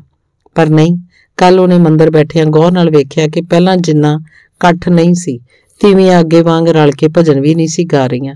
ਉਸ ਵੱਲ ਵੀ ਪਹਿਲਾਂ ਵਾਲੀ ਸ਼ਰਧਾ ਨਾਲ ਨਹੀਂ ਸੀ ਤੱਕ ਰਹੀਆਂ। ਕੋਈ ਭਰਮ ਵਾਲੀ ਗੱਲ ਨਹੀਂ ਸੀ ਸਭ ਪਰ ਤੱਕ ਸੀ। ਭਾਵੇਂ ਜਿਹੜਾ ਫੈਸਲਾ ਕਰ ਲਿਆ ਸੀ, ਉਹਦੀ ਦ੍ਰਿੜਤਾ ਕਰਕੇ ਉਹਨੇ ਇਸ ਬਦਲੇ ਵਤੀਰੇ ਦੀ ਪਰਵਾਹ ਨਹੀਂ ਸੀ ਕੀਤੀ। ਪਰ ਇਹਦੇ ਪ੍ਰਭਾਵ ਤੋਂ ਬਚਣਾ ਤਲਾਬ 'ਚ ਗੋਤਾ ਲਾ ਕੇ ਸੁੱਕੇ ਨਿਕਲਣ ਵਰਗੀ ਗੱਲ ਹੀ ਜਾਪਦੀ ਸੀ। ਉਹ ਉਸ ਚਾਂਚਕ ਜਿਵੇਂ ਕਲਕਾਰੀ ਜੀ ਮਾਰੀ ਹੋਵੇ। ਆਪ ਮੁਹਾਰੀ ਉੱਠ ਕੇ ਦਾਦੀ ਨੂੰ ਚਿੱਠੀ ਫੜਾਉਣ ਜਾਂਦਿਆਂ ਬੋਲੀ, ਮੈਨੂੰ ਕੀ ਪਈ? ਮੈਨੂੰ ਕਾਸੀ ਦੀ ਕੋਈ ਪਰਵਾਹ ਨਹੀਂ, ਕੁਝ ਕਰਨਾ ਹੈ ਜ਼ਰੂਰ। ਇਹਨਾਂ ਨਿਰਰਥਕ ਜਿਹੇ ਸ਼ਬਦਾਂ ਦੇ ਅਰਥ ਉਸ ਬੱਚੇ ਵਾਂਗ ਜਾਣਨ ਦਾ ਯਤਨ ਕਰ ਰਹੀ ਸੀ, ਜਿਹਦੇ ਇਮਤਿਹਾਨ ਸਿਰ ਤੇ ਆ ਗਏ ਹੋਣ ਪਰ ਪਾਠ ਯਾਦ ਨਾ ਹੋ ਰਿਹਾ ਹੋਵੇ। ਉਹ ਰਾਤ ਬੜੀ ਔਖੀ ਬੀਤੀ, ਸੋਚਾਂ ਨੇ ਗਿਰਜਾਂ ਵਾਂਗ ਘੇਰ ਲਿਆ। ਕੋਈ ਰਾਹ ਜਦੋਂ ਨਹੀਂ ਸੁਝਿਆ ਤਾਂ ਆਪਣੇ ਗੋਪਾਲ ਅੱਗੇ ਬੇਨਤੀ ਕਰਨੀ ਚਾਹੀ, ਪਰ ਗੋਪਾਲ ਵੀ ਬਾਕੀ ਲੋਕਾਂ ਵਾਂਗ ਹੀ ਰੁੱਸ ਗਏ ਲੱਗਦੇ ਸੀ। ਅੱਧੀ ਰਾਤ ਤੇ ਬਾਹਰੋਂ ਇੰਜ ਸ਼ੂਕਰ ਆਉਂਦੀ ਮਹਿਸੂਸ ਹੋਈ ਜਿਵੇਂ ਵੱਡੇ ਖੰਭਾਂ ਵਾਲਾ ਕੋਈ ਬਾਜ ਜਿਹਾ ਪੰਛੀ ਚੁਬਾਰੇ ਦੁਆਲੇ ਗੇੜੇ ਕੱਢ ਰਿਹਾ ਹੋਵੇ। ਉੱਠ ਕੇ ਵੇਖਣ ਨੂੰ ਦਿਲ ਕੀਤਾ, ਪਰ ਥਕੇਵੇਂ ਨਾਲ ਅੰਗ ਨਿਢਾਲ ਹੋ ਗਏ ਸੀ। ਰੋਸ਼ਨਦਾਨ ਦੇ ਗੂੜੇ ਰੰਗ ਦੇ ਲਾਲ ਨੀਲੇ ਸ਼ੀਸ਼ਿਆਂ ਤੇ ਕਈ ਅਜੀਬ ਪਰਛਾਵੇਂ ਬਣਦੇ ਤੇ ਮਿਟਦੇ ਦਿਸ ਰਹੇ ਸੀ। ਇਸ ਨਾਲ ਮਨ ਦਾ ਸਹਿਮ ਹੋਰ ਵੱਧ ਰਿਹਾ ਸੀ। ਦਾਦੀ ਕੋਲ ਪਈ ਕਸਮੇ ਸਾਹ ਲੈਂਦਿਆਂ ਗੂੜੀ ਨੀਂਦ ਸੁੱਤੀ ਪਈ ਸੀ। ਉਹਦਾ ਵੀ ਜਿਵੇਂ ਕੋਈ ਸਹਾਰਾ ਨਹੀਂ ਸੀ, ਉਹ ਇਕੱਲੀ ਸੀ। ਘਰ ਸੁੰਨਾ ਸੀ, ਚਾਰੇ ਪਾਸੇ ਸਾਂ ਸਾਂ ਕਰਦੀ ਰਾਤ ਦਾ ਭਿਆਨਕ ਜਿਹਾ ਕਰੂਪ ਆਕਾਰ ਮਨ ਦਾ ਸਹਿਮ ਪਲੋ ਪਲ ਵਧਾਈ ਜਾਂਦਾ ਸੀ। ਅਜਿਹੀ ਕੱਲ ਅਸਹਿ ਸੀ, ਪਲ ਪਲ ਵਰਿਆਂ ਜਿੱਡਾ ਹੋ ਕੇ ਬੀਤ ਰਿਹਾ ਸੀ। ਨੀਂਦ ਨਹੀਂ ਸੀ ਆ ਰਹੀ, ਇਹ ਰਾਤ ਵੀ ਬੀਤ ਗਈ, ਪਰ ਬੜੀ ਭਿਆਨਕ। ਸਵੇਰ ਸਾਰ ਉੱਠੀ ਤਾਂ ਸਿਰ ਬੜਾ ਭਾਰਾ ਸੀ ਦਾਦੀ ਚਾਹ ਕਰਕੇ ਲਿਆਈ ਬਿਨਾ ਮੂੰਹ ਹੱਥ ਧੋਤੇ ਹੀ ਪੀ ਲਈ ਸ਼ੁਕਰ ਸੀ ਕਿ ਦਾਦੀ ਨੇ ਉਹਨੂੰ ਨਹੀਂ ਸੀ ਵੇਖਿਆ ਮੰਦਰ ਕਿ ਬਜਾਓਗੇ ਜੀ ਦਾਦੀ ਨੇ ਪੁੱਛਿਆ ਉਹਨੇ ਦਾਦੀ ਵੱਲ ਗੌਰ ਨਾਲ ਵੇਖਿਆ ਤਾਂ ਕੱਲ ਨਾਲੋਂ ਵਧੇਰੇ ਤਕੜੀ ਜਾਪੀ ਚਿਹਰਾ ਖੁਸ਼ ਤੇ ਅੱਖਾਂ ਚਮਕੀਲੀਆਂ ਸੀ ਰਤਾ ਮੁਸਕਰਾ ਕੇ ਉੱਤਰ ਦਿੱਤਾ ਦਾਦੀ ਮੇਰੇ ਵੰਡੇ ਦੀ ਤੂੰ ਹੀ ਜਾ ਆਈ ਮੈਂ ਹੁਣ ਕੀ ਕਰਨਾ ਜਾ ਕੇ ਇਹ यो के बात हुई जी दादी हैरान होके बोली थारे भाग्य में ਕਹਿ ਤਰ੍ਹਾਂ ਲੈ ਸਕੂੰ ਜੀ। ਕੋਈ ਨਹੀਂ, ਮੈਂ ਭਗਵਾਨ ਨੂੰ ਕਹਿ ਦਊਂ, ਉਹ ਬੜੇ ਦਿਆਲੂ ਹੈ ਸੁਰਤੀ ਡੌਰਪੌਰ ਜੀ ਉਸ ਵੱਲ ਤੱਕਦੀ ਤੇ ਮੂੰਹ 'ਚ ਬੁੜਬੁੜ ਕਰਦੀ ਸਿਰ ਹਿਲਾਉਂਦੀ ਚਲੀ ਗਈ। ਇਸ ਦਿਨ ਪਿੱਛੋਂ ਕਈ ਘਟਨਾਵਾਂ ਲਗਾਤਾਰ ਅਣਹੋਣੀਆਂ ਵਾਂਗ ਵਾਪਰ ਗਈਆਂ। ਮਦਨ ਮੋਹਨ ਨੇ ਚੈੱਕ ਭੇਜਿਆ, ਕੇਸਰੀ ਦੀ ਇੱਕ ਚਿੱਠੀ ਆਈ ਜਿਸ 'ਚ ਉਸ ਬੇਨਤੀ ਕੀਤੀ ਸੀ ਕਿ ਉਹਨੂੰ ਮੁੜ ਆਉਣ ਦੀ ਆਗਿਆ ਦਿੱਤੀ ਜਾਏ, ਪਤੀ ਸਮੇਤ। ਵੱਡੇ ਭਰਾ ਜੀ ਦੀ ਜੀਪ ਉਲਟਣ ਕਾਰਨ ਖੱਬੀ ਬਾਹ ਟੁੱਟ ਗਈ। ਉਹ ਪਰਜਾਈ ਜਿਸ ਘਰ ਵੰਡਣ ਤੱਕ ਵੀ ਕਦੇ ਉਹ ਬਾਸਰ ਕੇ ਕੋਈ ਬੁਰਾ ਸ਼ਬਦ ਉਹਨੂੰ ਨਹੀਂ ਸੀ ਕਿਹਾ, ਇੱਥੇ ਉਹਦੇ ਆਪਣੇ ਘਰ ਆ ਕੇ ਕਈ ਮੰਦੀਆਂ ਗੱਲਾਂ ਕਹਿ ਗਈ। ਜਿਵੇਂ ਵਰਿਆਂ ਦਾ ਗੁੱਬ ਗੁਬਾਟ ਕੱਢਣ ਆਈ ਹੋਵੇ। ਸਭ ਤੋਂ ਵੱਡੀ ਘਟਨਾ ਇਹ ਸੀ ਕਿ ਉਹਨੇ ਆਪਣਾ ਹਸਪਤਾਲ ਬਣਾਉਣ ਦਾ ਇਰਾਦਾ ਪੂਰੀ ਤਰ੍ਹਾਂ ਬਦਲ ਕੇ ਸਕੂਲ ਖੋਲਣ ਦਾ ਮਨ ਬਣਾ ਲਿਆ ਸੀ। ਫਿਰ ਸਭ ਤੋਂ ਮਹੱਤਵਪੂਰਨ ਘਟਨਾ ਇਹ ਵਾਪਰੀ ਕਿ ਉਹ 2 ਹਫ਼ਤਿਆਂ ਦੇ ਅੰਦਰ ਅੰਦਰ ਆਪਣੇ ਘਰ ਦੇ ਹੇਠਲੇ ਹਿੱਸੇ ਵਿੱਚ ਸਕੂਲ ਬਣਾ ਲਿਆ। ਖੱਬੇ ਪਾਸੇ ਦੀ ਬੈਠਕ 'ਚ ਦਫ਼ਤਰ ਵੀ ਸਜਾ ਲਿਆ, ਅਖਬਾਰ 'ਚ ਇਸ਼ਤਿਹਾਰ ਵੀ ਦੇ ਦਿੱਤਾ। ਸਕੂਲ ਲਈ ਕੁਝ ਚੰਗੇ ਅਧਿਆਪਕਾਂ ਦੀ ਲੋੜ ਸੀ, ਕੁਝ ਤੱਪੜ, ਬੈਂਚ, ਕੁਰਸੀਆਂ ਤੇ ਮੇਜ਼ ਵੀ ਮਦਨ ਮੋਹਨ ਦੇ ਭੇਜੇ ਚੈੱਕ ਦੇ ਪੈਸੇ ਲੈ ਕੇ ਖਰੀਦ ਲਏ। ਸਭ ਤੋਂ ਅਲੋਕਾਰ ਗੱਲ ਇਹ ਵਾਪਰੀ ਕਿ ਇਹਨਾਂ ਦੋ ਹਫ਼ਤਿਆਂ ਵਿੱਚ ਵੀ ਉਸ ਕੋਲ ਕੋਈ 50-60 ਬੱਚੇ ਬਕਾਇਦਾ ਪੜਨ ਲਈ ਆਉਣ ਲੱਗ ਪਏ। ਨਿਤ ਕਈ ਮਾਪੇ ਆਉਂਦੇ ਕਿ ਉਹ ਆਪਣੇ ਬਾਲਾਂ ਨੂੰ ਦੂਜੇ ਸਕੂਲਾਂ 'ਚੋਂ ਹਟਾ ਕੇ ਉਹਦੇ ਸਕੂਲ 'ਚ ਪਾ ਦੇਣਾ ਚਾਹੁੰਦੇ ਸੀ, ਪਰ ਉਹਨਾਂ ਨੂੰ ਨਵੇਂ ਅਧਿਆਪਕਾਂ ਦੇ ਆਉਣ ਤੱਕ ਠਹਿਰ ਜਾਣ ਲਈ ਕਹਿ ਦਿੰਦੀ। 16ਵੇਂ ਦਿਨ ਉਸ ਮੰਦਰੋਂ ਆਉਂਦਿਆਂ ਬੜੀ ਹੈਰਾਨੀ ਨਾਲ ਜਦੋਂ ਆਪਣੇ ਨਵੇਂ ਸਕੂਲ ਦੇ ਚਮਕੀਲੇ ਬੋਰਡ ਵੱਲ ਤੱਕਿਆ, ਤਾਂ ਉਸ ਉੱਤੇ ਲਿਖੀ ਹਿੰਦੀ, ਅੰਗਰੇਜ਼ੀ ਤੇ ਪੰਜਾਬੀ ਦੇ ਅੱਖਰਾਂ 'ਚ ਏਡੀ ਅਲੋਕਾਰ ਖਿੱਚ ਜਾਪੀ ਕਿ ਸਾਰੇ ਅੰਗਾਂ 'ਚ ਚਰਨਾਟ ਛਿੜ ਗਈ। ਇਹਨਾਂ ਅੱਖਰਾਂ ਦੀ ਮਿਠਾਸ ਉਹਨੂੰ ਆਪਣੇ ਹੋਠਾਂ ਤੇ ਮਹਿਸੂਸ ਹੋਈ ਤੇ ਬੇਮਲੂਮੀ ਜੀ ਜੀਭ ਹੇਠਲੇ ਹੋਠ ਉੱਤੇ ਫੇਰਦਿਆਂ ਜਦੋਂ ਬੂਹੇ ਦੀ ਪੁਰਾਣੀ ਥੜੀ ਤੇ ਕਦਮ ਰੱਖਦਿਆਂ ਅੰਦਰ ਝਾਕੀ ਤਾਂ ਸੱਚੀ ਹੋਠਾਂ ਦੀ ਇਹ ਮਿਠਾਸ ਸ਼ਹਿਦ ਦੇ ਘੁੱਟ ਵਾਂਗ ਸੰਘੋਂ ਹੇਠ ਲੈਂਦੀ ਜਾਪੀ। ਨਮਸਤੇ ਨਮਸਤੇ ਭੈਣ ਜੀ, ਕਿੰਨੀਆਂ ਤੋਤਲੀਆਂ ਮਿੱਠੀਆਂ ਸੁਰੀਲੀਆਂ ਆਵਾਜ਼ਾਂ ਨੇ ਵਿਹੜੇ 'ਚ ਉਹਦਾ ਸਵਾਗਤ ਕੀਤਾ ਤੇ ਉਹਦਾ ਤਨ ਮਨ ਖਿੜ ਗਿਆ। ਕੋਈ 8-10 ਨਿਆਣਿਆਂ ਨੇ ਉਹਨੂੰ ਘੇਰ ਲਿਆ ਸੀ। ਮਿੱਤਰੂ ਹਟਵਾਣੀਏ ਦੀ ਮੋਟੀਆਂ-ਮੋਟੀਆਂ ਅੱਖਾਂ ਵਾਲੀ ਕੁੜੀ ਨੇ ਤਾਂ ਨਿਜਾਕੋ ਦੀ ਸਾੜੀ ਦਾ ਪੱਲਾ ਵੀ ਆ ਖਿੱਚਿਆ। ਮੁਸਕਰਾਉਂਦਿਆਂ ਬੋਲੀ, ਤੁਸੀਂ ਆ ਗਏ? ਪੈਨ ਮੈਂ ਦੀਕਦੀ ਛੀ ਕਿੰਨੀ ਅਦਭੁਤ ਗੱਲ ਸੀ ਕਿ ਉਹ ਕੁੜੀ ਉਹਨੂੰ ਉਡੀਕਦੀ ਸੀ। ਤੇ ਦੀਕਦੀ ਸ਼ਬਦ ਉਸ ਜਿਵੇਂ ਬੋਲਿਆ, ਉਹ ਤਾਂ ਸੱਚੀ ਐਉਂ ਲੱਗਦਾ ਸੀ ਕਿ ਉਹ ਬਹੁਤ ਉਡੀਕਦੀ ਰਹੀ ਹੋਏਗੀ। ਕਿਉਂ? ਮੈਨੂੰ ਤੂੰ ਕਿਉਂ ਉਡੀਕਦੀ ਰਹੀ? ਉਹ ਮੁਸਕਰਾ ਕੇ ਕੁੜੀ ਦੀ ਗੱਲ ਥੱਪੜਦਿਆਂ ਪੁੱਛਿਆ। ਮੈਂ ਮੈਂ ਦੀ, ਮੇਲਾ ਦੀ ਦੀ ਨਹੀਂ ਲੱਦਿਆ। ਤੇ ਚੌੜ ਨਾਲ ਕੁੜੀ ਨੇ ਆਪਣੀ ਉਂਗਲ ਮੂੰਹ 'ਚ ਇਉਂ ਪਾ ਲਈ ਜਿਵੇਂ ਗੱਲ ਕਹਿੰਦੇ ਉਹ ਸੰਗ ਗਈ ਹੋਵੇ। ਕਿਉਂ? ਜੀ ਕਿਉਂ ਨਹੀਂ ਲੱਗਿਆ ਤੇਰਾ? ਮੈਂ ਦੱਸਾਂ ਭੈਣ ਜੀ, ਉਹਦੇ ਜਵਾਬ ਤੋਂ ਪਹਿਲਾਂ ਦੇਸ ਰਾਜ ਦੀ ਖੇਤੀ ਪਿੱਲੋ ਬੋਲ ਪਈ। ਇਹ ਜੀ ਐਂ ਕਹਿੰਦੀ ਆ ਜੀ ਇਹ ਕਹਿੰਦੀ ਆ, ਮੈਨੂੰ ਭੈਣ ਜੀ ਦਾ ਬਾਹਲਾ ਮੋਹ ਆਉਂਦਾ ਮੋਹ ਆਉਂਦਾ ਉਸੇ ਵਾਕ ਮਨ 'ਚ ਚਿਤਾਰਿਆ ਤੇ ਮੋਹ ਮਾਇਆ ਦੇ ਜਾਲ ਵਰਗੇ ਸ਼ਬਦ ਨੂੰ ਆਪਣੇ ਦੁਆਲੇ ਸੰਘਣੇ ਬਦਲਾਂ ਪਸਰਦੇ ਜਾਪੇ। ਉਹਦਾ ਜੀ ਕੀਤਾ ਇਸ ਧੁੰਦਲੀ ਦੁਨੀਆ 'ਚ ਗਵਾਚ ਜਾਏ। ਪਰਮ ਵੇਖਿਆ ਰਾਮਚੰਦਰ ਦਲਾਲ ਦਾ ਮੁੰਡਾ ਤੱਪੜ ਵਿਛਾਉਂਦਾ ਕੋਈ ਆਪਣਾ ਦੇਸੀ ਗੀਤ ਗਾਈ ਜਾ ਰਿਹਾ ਸੀ। ਵਾਲ ਉਹਦੇ ਖਿਲ ਰਹੇ ਸੀ। ਅੱਜ ਨਹਾ ਕੇ ਨਹੀਂ ਸੀ ਆਇਆ ਲੱਗਦਾ। ਅਣਧੋਤੀ ਲੰਡੀ ਕੱਛ ਤੇ ਝੱਗਾ ਉਸ ਪਾਇਆ ਹੋਇਆ ਸੀ, ਪਰ ਤਦ ਵੀ ਗੀਤ ਗਾਉਂਦਾ। ਆਪਣੇ ਆਪ 'ਚ ਮਸਤ ਡੋਰੂ ਵਾਂਗ ਸਿਰ ਹਿਲਾਉਂਦਾ ਬੜਾ ਚੰਗਾ ਲੱਗਦਾ ਸੀ। ਇਹ ਭੈਣ ਜੀ ਲੜਾਕਾ ਬੜਾ ਹੈ। ਖੇਮੂ ਸਬਜੀ ਵਾਲੇ ਦੇ ਮੁੰਡੇ ਨੇ ਹੀਰਾ ਦੇਵੀ ਨੂੰ ਉਧਰ ਗੌਰ ਨਾਲ ਤੱਕਦਿਆਂ ਵੇਖ ਕੇ ਕਿਹਾ, ਇਹਨੇ ਜੀ ਕੱਲ ਸੀਲੇ ਦੇ ਦੰਦੀ ਵੱਡੀ ਸੀ ਜੀ, ਨਾਲੇ ਉਹਦੀ ਦੁਆਤ ਭੰਤੀ ਸੀ। ਤੇ ਤੂੰ ਨਹੀਂ ਲੜਾਕਾ? ਉਸ ਮੁਸਕਰਾ ਕੇ ਮੁੰਡੇ ਦੇ ਸਿਰ ਤੇ ਪੋਲਾ ਜਿਹਾ ਹੱਥ ਫੇਰਦਿਆਂ ਕਿ ਹੂੰ ਉਹ ਸਿਰ ਹਿਲਾਇਆ, ਮੂੰਹ ਵਿੰਗਾ ਜਿਹਾ ਕਰਕੇ ਪਿਛਾਂ ਹਟ ਗਿਆ। ਅੱਛਾ ਵੀ ਬੱਚਿਓ, ਤੁਸੀਂ ਬੈਠ ਕੇ ਪੜੋ ਮੈਂ ਹੁਣੇ ਆਈ। ਉਹ ਸਾਰਿਆਂ ਵੱਲ ਮੂੰਹ ਨਾਲ ਤੱਕਦਿਆਂ ਕਿਹਾ ਤੇ ਪੌੜੀਆਂ ਜਾ ਚੜੀ। ਦਾਦੀ ਸੁਰਤੀ ਨੇ ਨਾਸ਼ਤਾ ਤਿਆਰ ਕਰ ਲਿਆ ਸੀ, ਚਾਹ ਧਰੀ ਹੋਈ ਸੀ। ਛੇਤੀ ਛੇਤੀ ਕਹਿੰਦਿਆਂ ਜਦੋਂ ਉਹਨੇ ਦਾਦੀ ਨੂੰ ਚਾਹ ਲਿਆਉਣ ਲਈ ਕਿਹਾ, ਤਾਂ ਮੁਸਕਰਾਉਂਦੀ ਹੋਈ ਅੰਦਰ ਆ ਕੇ ਬੋਲੀ ਅੱਜ ਤੋਂ ਬੀਬੀ ਜੀ ਬੜੇ ਖੁਸ਼-ਖੁਸ਼ ਦਿਖੋ ਸੋ। ਉਹਨੂੰ ਦਾਦੀ ਦੇ ਸੋਪਰੇ ਵਾਕ ਤੇ ਸੰਗ ਆ ਗਈ, ਪਰ ਤੁਰਤ ਹੀ ਨਿੱਕਾ ਨਿੱਕ ਜਿਹਾ ਠਾਕਾ ਮਾਰ ਕੇ ਬੋਲੀ, ਖੁਸ਼ ਹੋਣਾ ਕੋਈ ਪਾਪ ਹੈ ਦਾਦੀ? ਨਾ ਜੀ ਨਾ ਜੀ। ਦਾਦੀ ਕਾਲੀ ਨਾਲ ਰਤਾ ਗੰਭੀਰ ਆਵਾਜ਼ 'ਚ ਬੋਲੀ, ਮੈਂ ਤੇ ਇਸ ਨੇ ਪੁੰਨ ਕੌਸੂ ਆਪਣੋ ਸੰਤੋਖਾ ਭਾਈ ਜੀ ਤੋਂ ਸ਼ਬਦ ਗਾਵਿਆਂ ਕਰੇ, ਅਕ ਹਾਸਣ, ਖੇਲਣ, ਕੂਦਣ, ਮਨ ਕਾ ਚਾਓ ਮੈਂ ਤਾਂ ਨਿਉ ਕਹੂੰ ਥੀ ਕਿ ਇਬ ਖੁਸ਼ੀ ਰਿਆ ਕਰੋ ਜੀ, ਯੋ ਬਾਤ ਠੀਕ ਸੈ ਜੀ। ਉਹ ਸੁਰਤੀ ਦੀ ਗੱਲ ਤੇ ਸੱਚੀ ਹੱਸ ਪਈ। ਉਹਦੀ ਤਰੋ ਤਰੀ ਘਿਓ ਲਾ ਕੇ ਪਕਾਈ ਪਰੌਂਠੀ ਇੰਨੀ ਸਵਾਦ ਲੱਗੀ ਕਿ ਜੀ ਕੀਤਾ ਇੱਕ ਹੋਰ ਮੰਗ ਲੈ ਪਰ ਭੁੱਖ ਨਹੀਂ ਸੀ। ਨਾਲੇ ਦਾਦੀ ਅੱਜ ਇੰਨੀ ਮਸਤ ਹੋ ਗਈ ਸੀ ਕਿ ਆਪਣੀਆਂ ਗੱਲਾਂ ਹੀ ਸੁਣਾਉਣੋਂ ਚੁੱਪ ਨਹੀਂ ਸੀ ਕਰਦੀ। ਗੱਲਾਂ ਤਾਂ ਉਹਦੀਆਂ ਅੱਗੇ ਵੀ ਕਦੇ ਨਹੀਂ ਸੀ ਮੁੱਕਦੀਆਂ। ਪਰ ਅੱਗੋਂ ਸੁਣਨ ਨੂੰ ਘੱਟ ਵੱਧ ਹੀ ਜੀ ਕਰਦਾ ਸੀ, ਅੱਜ ਮਨ ਭਰਦਾ ਨਹੀਂ ਸੀ। ਅੱਜ ਤੋਂ ਜੀ ਮੁੰਡੇਰ ਪਰ ਕਾਗ ਬੋਲਣ ਲੱਗ ਰਿਹਾ ਸੀ। ਭਗਵਾਨ ਕੀ ਦਇਆ ਤੇ ਅੱਜ ਕੋਈ ਜ਼ਰੂਰ ਆਵੇਗਾ। ਮਾਰਾ ਘਰ ਪਵਿੱਤਰ ਕਰਨੇ। ਦਾਦੀ ਨੇ ਭਾਂਡੇ ਚੁੱਕਣ ਲੱਗਿਆ ਵਧੇਰੇ ਖੁਸ਼ੀ ਨਾਲ ਕਿਹਾ, ਅੱਠੇ ਰੌਣਕਾਂ ਲੱਗੀ ਰਹੇ। ਹੀ ਠੀਕ ਸੈ ਜੀ। ਇਕੱਲੇ ਰਹਿੰਦਿਆਂ ਤੋਂ ਆਦਮੀ ਨੂੰ ਇਹ ਅਦਾਸ ਹੋ ਜਾਵੇ, ਜੀ। ਹੁਣ ਨਹੀਂ ਰੌਣਕਾਂ ਲੱਗੀਆਂ ਹੋਈਆਂ, ਦਾਦੀ, ਮੁਸਕਰਾਉਂਦਿਆਂ ਹੀਰਾ ਦੇਵੀ ਬੋਲੀ। ਸੈ ਤੋ ਇਹ ਵੀ, ਪਰ ਜੀ ਕੇਸਰੀ ਘਣੀ ਯਾਦ ਆਵੇ ਤੇ ਸੁਰਤੀ ਦੀ ਆਵਾਜ਼ ਪਰੜਾ ਜੀ ਗਈ। ਹੀਰਾ ਦੇਵੀ ਦਾ ਮਨ ਵੀ ਕੇਸਰੀ ਦੀ ਯਾਦ ਨਾਲ ਉਛਲ ਆਇਆ।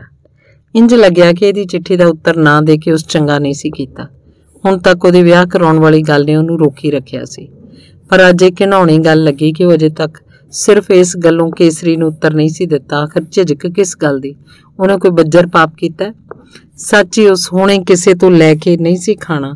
ਇਹ ਸਵੈਮਾਨ ਦੀ ਚੋਹ ਪਤਾ ਨਹੀਂ ਕਦੋਂ ਦਾ ਉਹਦੇ ਮਨ 'ਚ ਮਿੱਠੀ ਚੋਹ ਬਣ ਕੇ ਉਹਨੂੰ ਪੁਰਾਣੀ ਠਰੀ ਹੋਈ ਦੁਨੀਆ 'ਚੋਂ ਬਾਹਰ ਨਿਗ, ਨਿੱਗੀ ਧੁੱਪ ਚ ਲਾਏ ਸੀ, ਜਿੱਥੇ ਸਰੀਰ ਦਾ ਸਾਰਾ ਲਹੂ ਪੰਗਰ ਕੇ ਦੇਹ ਨੂੰ ਸੂਹੀ ਕਰੀ ਜਾ ਰਿਹਾ ਸੀ ਤੇ ਇਸ ਨਿਗ ਨਾਲ ਹੱਡੀ ਵੜੀ ਹੋਈ ਸਾਰੀ ਠੰਡ ਦੂਰ ਹੁੰਦੀ ਜਾ ਰਹੀ ਸੀ।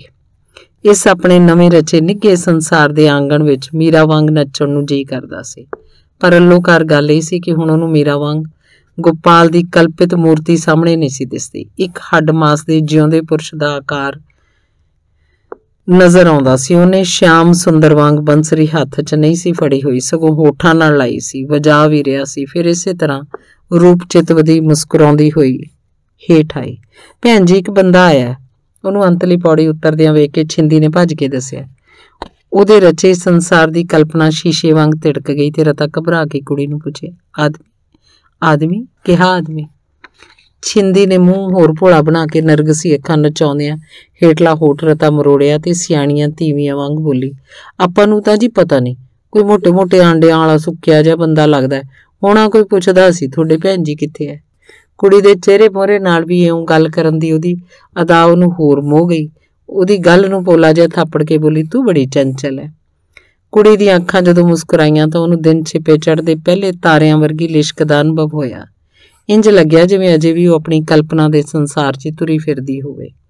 ਪਰ ਫਿਰ ਚੰਨ ਚੱਕ ਇੱਕ ਵਾਰ ਮੁੜ ਇਹ ਕਲਪਨਾ ਤਿੜਕੀ ਤੇ ਉਹਦੇ ਮੂੰਹ ਆਪੇ ਹੀ ਨਿਕਲ ਗਿਆ। ਉਹ ਨਾਲੇ ਬੱਚਿਆਂ ਨੂੰ ਹੱਥ ਦੇ ਇਸ਼ਾਰੇ ਨਾਲ ਬਿਠਾਉਂਦੇ ਬੋਲੀ, ਸਾਰੇ ਬੈਠ ਕੇ ਪੜੋ ਬੀਬੇ ਰਾਣੀ, ਮੈਂ ਆਈ। ਅੱਛਾ ਜੀ। ਇੱਕ ਚੰਬਲੀ ਹੋਈ ਹੇਕ ਨਾਲ ਸਾਰੇ ਇਕੱਠੇ ਹੀ ਬੋਲੇ। ਆਪਣੇ ਦਫ਼ਤਰ ਪਿਤਾ ਜੀ ਦੀ ਬੈਠਕ ਦੀ ਚਿੱਕ ਚੁੱਕਦਿਆਂ ਹੀ ਉਹਨੂੰ ਧੱਕਾ ਜਿਹਾ ਵੱਜਿਆ।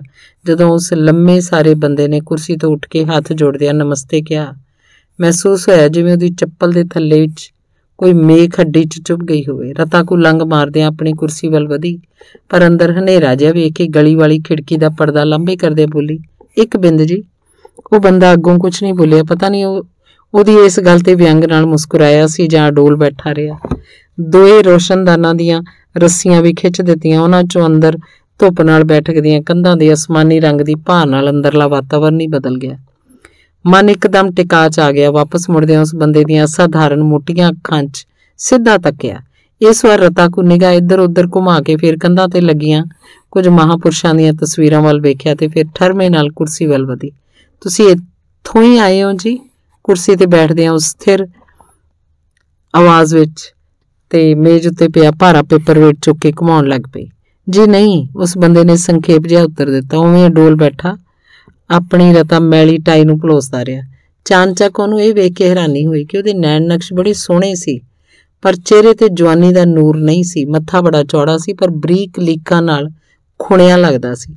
ਵਾਲ ਇਉਂ ਖਿਲ ਰਹੇ ਸੀ ਜਿਵੇਂ ਕਦੇ ਵੀ ਵਾਹੇ ਨਾ ਹੋਣ। ਰੁੱਖੇ ਤੇ ਉਲਝੇ ਹੋਏ ਕੋਟ ਉਹਦੇ ਸੁਕੜੂ ਜੇ ਸਰੀਰ ਉੱਤੇ ਵੀ ਬੜਾ ਫੱਬਦਾ ਸੀ, ਪਰ ਗੌਰ ਨਾਲ ਵੇਖਿਆ, ਦਿਸ ਜਾਂਦਾ ਸੀ ਕਿ ਇੱਕ ਮੋਢੇ ਤੇ ਬਾਹ ਉੱਤੋਂ ਰਫੂ ਕਰਵਾਇਆ ਹੋਇਆ ਸੀ, ਰੰਗ ਵੀ ਫਿੱਟਿਆ ਸੀ। ਉਹਦੇ ਵੱਲ ਤੱਕਣ ਵਾਲੇ ਨਾ ਕੁਝ ਛਿਣਾਂ ਦੀ ਚੁੱਪ ਵੀ ਅਸਹਿ ਹੋ ਗਈ ਸੀ। ਪਰ ਹੈਰਾਨੀ ਇਸ ਗੱਲ ਦੀ ਸੀ ਕਿ ਉਹ ਪੱਥਰ ਦੀ ਮੂਰਤ ਵਾਂਗ ਅਡੋਲ ਬੈਠਾ ਉਸ ਵੱਲ ਤੱਕੀ ਜਾ ਰਿਹਾ ਸੀ। ਜਿਵੇਂ ਉਹਨੂੰ ਆਪਣੇ ਵੱਲੋਂ ਕੁਝ ਵੀ ਪੁੱਛਣ ਦੱਸਣ ਦੀ ਲੋੜ ਨਾ ਹੋਵੇ। ਜਾਂ ਉਂਜੀ ਵਕਤ ਕੱਟੀ ਲਈ ਆ ਬੈਠਾ ਹੋਵੇ। ਕੋਈ ਬੱਚਾ ਦਾਖਲ ਕਰਾਉਣਾ ਜੀ? ਅੱਕ ਕੇ ਬਿੰਦਕ ਪਿੱਛੋਂ ਹੀਰਾ ਦੇਵੀ ਨੇ ਚੁੱਪ ਤੋੜੀ। ਨਹੀਂ ਜੀ, ਖੁਦ ਦਾਖਲ ਹੋਣਾ ਉਹ ਬੰਦਾ ਬੇਮਲੂਮੇ ਜੇ ਵਿਅੰਗ ਨਾਲ ਮੁਸਕਰਾਉਂਦੇ ਬੋਲਿਆ, ਕੀ ਮਤਲਬ? ਉਹ ਰਤਾ ਘਬਰਾ ਗਈ। ਮਤਲਬ ਇਹ ਜੀ ਕਿ ਤੁਸੀਂ ਕੁਝ ਅਧਿਆਪਕ ਆਪਣੇ ਸਕੂਲ ਲਈ ਮੰਗੇ ਸੀ, ਉਹਨਾਂ ਚੋਂ ਇੱਕ ਹਾਂ, ਜੇ ਦਾਖਲਾ ਦੇ ਸਕੋ ਤਾਂ। ਅੱਛਾ ਅੱਛਾ, ਹੀਰਾ ਦੇਵੀ ਰਤਾ ਮੁਸਕਰਾਈ ਤੇ ਪੇਪਰ ਵੇਟ ਉਹਦੇ ਹੱਥੋਂ ਡਿੱਗ ਪਿਆ। ਉਹਨੂੰ ਫੇਰ ਚੁੱਕ ਕੇ ਦੋਹਾਂ ਹੱਥਾਂ 'ਚ ਘੁੱਟਦਿਆਂ ਜਿਵੇਂ ਤਪ ਗਏ ਹੱਥਾਂ ਨੂੰ ਠਾਰਦਿਆਂ ਪੁੱਛਿਆ, ਕਿੱਥੋਂ ਆਏ ਹੋ? ਆਇਆ ਤਾਂ ਜੀ ਬਹੁਤ ਦੂਰੋਂ ਆ, ਪਰ ਉਹ ਪੱਕਾ ਮਲਵਈ ਆ। ਪਿੰਡ ਮੇਰਾ ਥੋੜੇ ਇੱਧਰ ਨੇੜੇ ਹੀ ਹੈ, ਡਿਗਰੀ ਐਮਏ ਤੇ ਬੀਐਡ 4 ਸਾਲ ਕਈ ਵੱਖੋ ਵੱਖਰੇ ਸਕੂਲਾਂ ਦਾ ਤਜਰਬਾ ਹੈ, ਪਰ ਬੇਲੋੜੀ ਸ਼ੈ ਯਾਨੀ ਅਧਿਆਪਕ ਹੈ, ਇਸ ਵਾਸਤੇ ਬੜੇ ਸਸਤੇ ਮੁੱਲੋਂ ਵਿਕ ਸਕਦਾ ਹੈ। ਪਹਿਲੀ ਮੁਲਾਕਾਤ ਵਿੱਚ ਇਹੋ ਜੀਆਂ ਗੱਲਾਂ ਕਰਦਾ ਸੀ, ਇੰਨਾ ਖੁੱਲਾ ਖਲਾਸਾ, ਇਹ ਸੀ ਕੌਣ? ਕੋਈ ਹੋਵੇ ਪਰ ਬੁਰਾ ਨਹੀਂ ਸੀ ਲੱਗਦਾ। ਫਿਰ ਵੀ ਉਹਦਾ ਸਪਾਟ ਮੱਥਾ ਰਤਾ ਕੱਸਿਆ ਗਿਆ ਤੇ ਗੰਭੀਰ ਆਵਾਜ਼ 'ਚ ਬੋਲੀ ਸਾਫ਼ ਦੱਸੋ, ਤਨਖਾਹ ਕੀ ਲਓਗੇ? ਜੋ ਮਿਲ ਜਾਏ।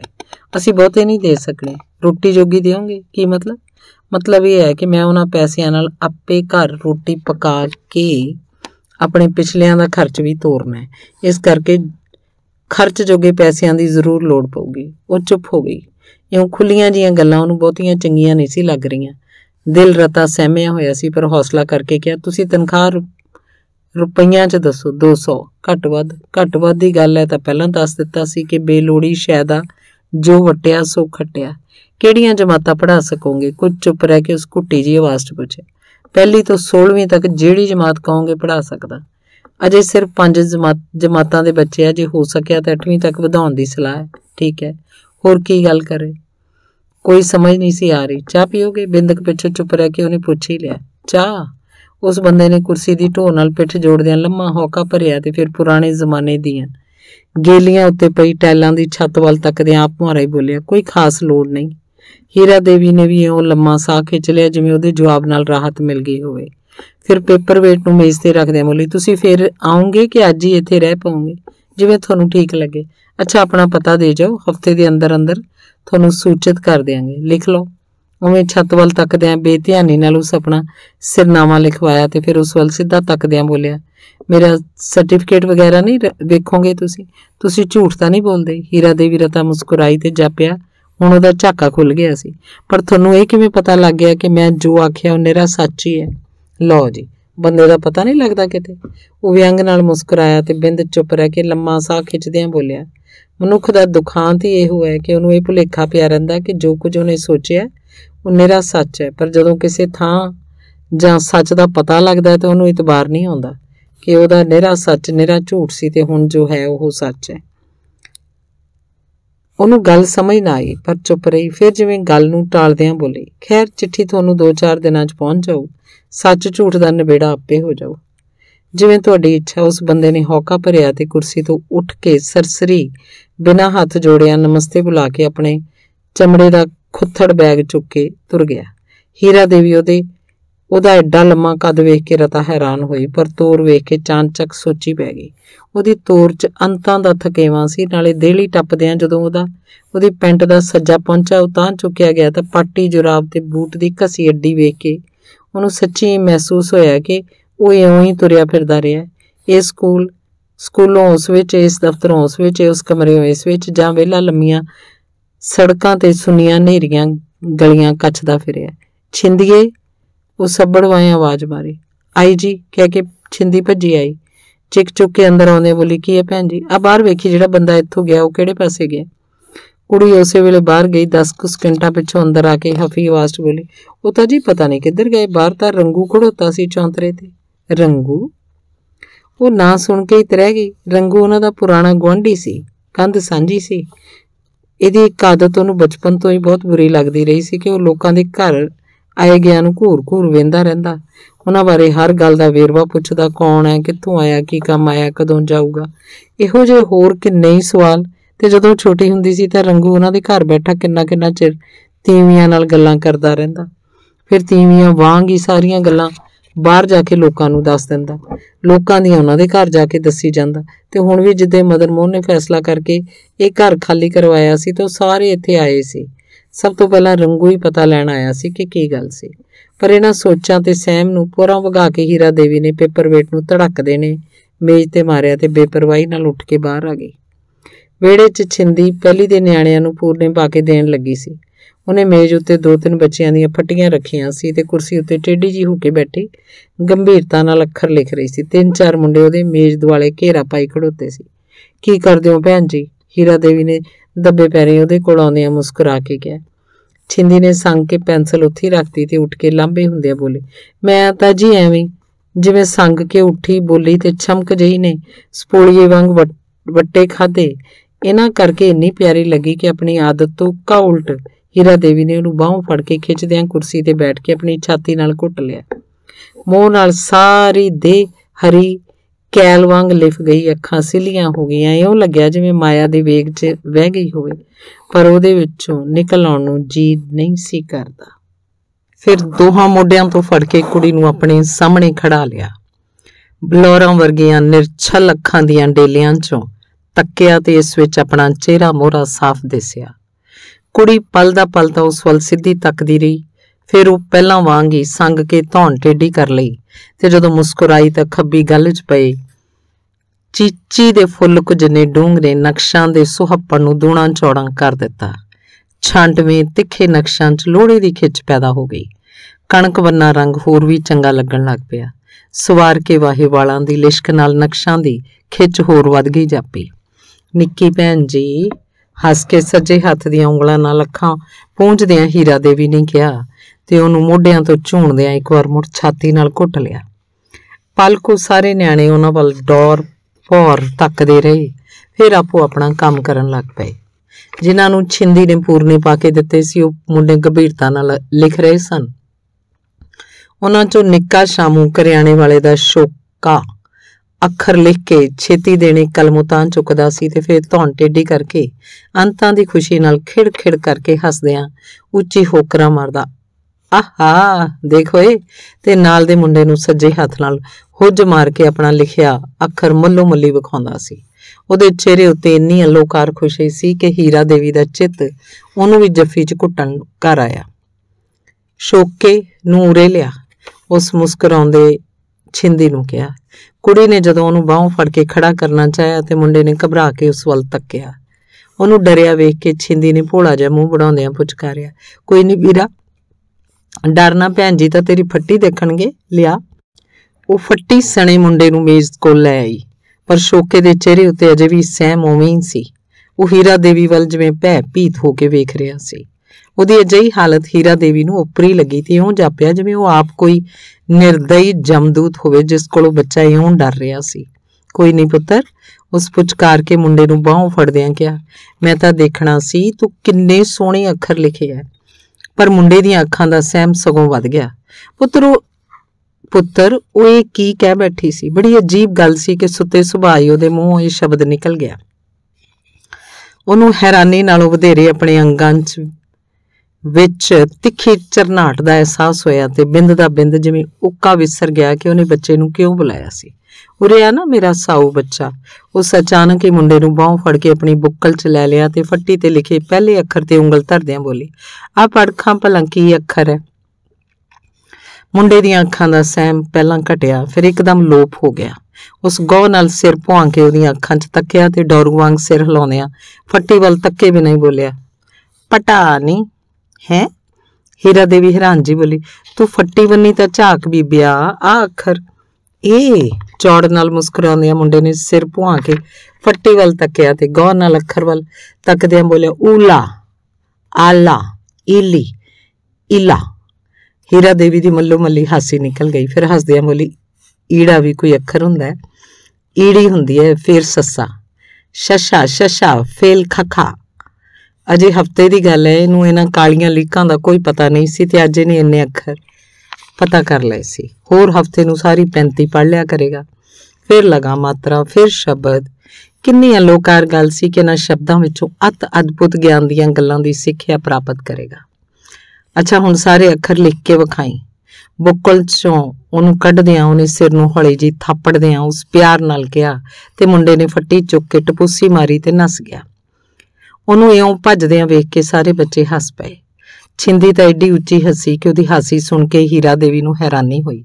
ਪਰ ਇੱਕਦਮ ਰੋਕ ਕੇ ਉਸ ਕਿਹਾ, ਵੇਖਿਓ ਭੈਣ ਜੀ, ਛਿੰਦੀ ਨੇ ਹੱਥ ਸ਼ੋਕੇ ਵੱਲ ਕੀਤਾ ਸੀ, ਪਰ ਹੀਰਾ ਦੇਵੀ ਨੇ ਤੱਪੜ ਦੇ ਸਿਰੇ ਤੇ ਬੈਠੀ ਜਗਨੇ ਤੌਲੇ ਦੀ ਕੁੜੀ ਵੱਲ ਵੇਖਿਆ, ਜੋ ਖਾਲੀ ਖਾਲੀ ਅੱਖਾਂ ਨਾਲ ਕਦੇ ਦੂਜੇ ਨਿਆਣਿਆਂ ਵੱਲ ਤੱਕਦੀ ਸੀ, ਕਦੇ ਕਾਲ ਨਾਲ ਆਪਣੀ ਫੱਟੀ ਵੱਲ ਵੇਂਦਿਆਂ।